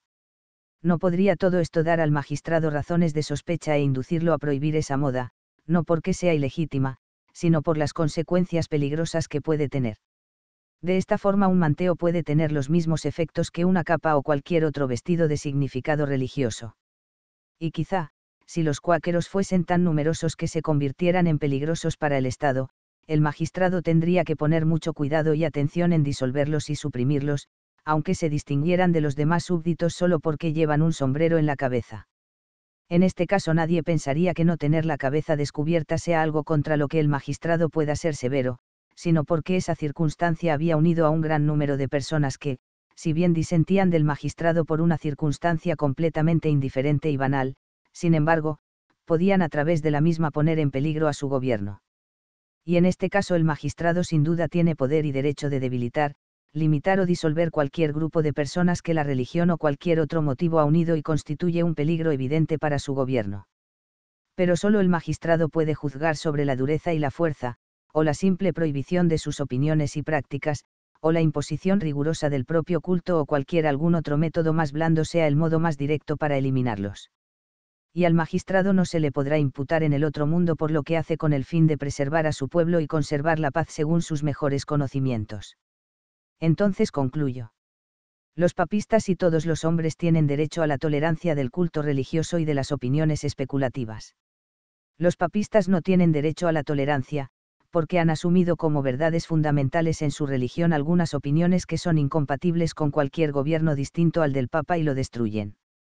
Suponemos que los papistas constituyen un cierto porcentaje de la población inglesa actual, digamos una décima parte, una quinta parte o la mitad.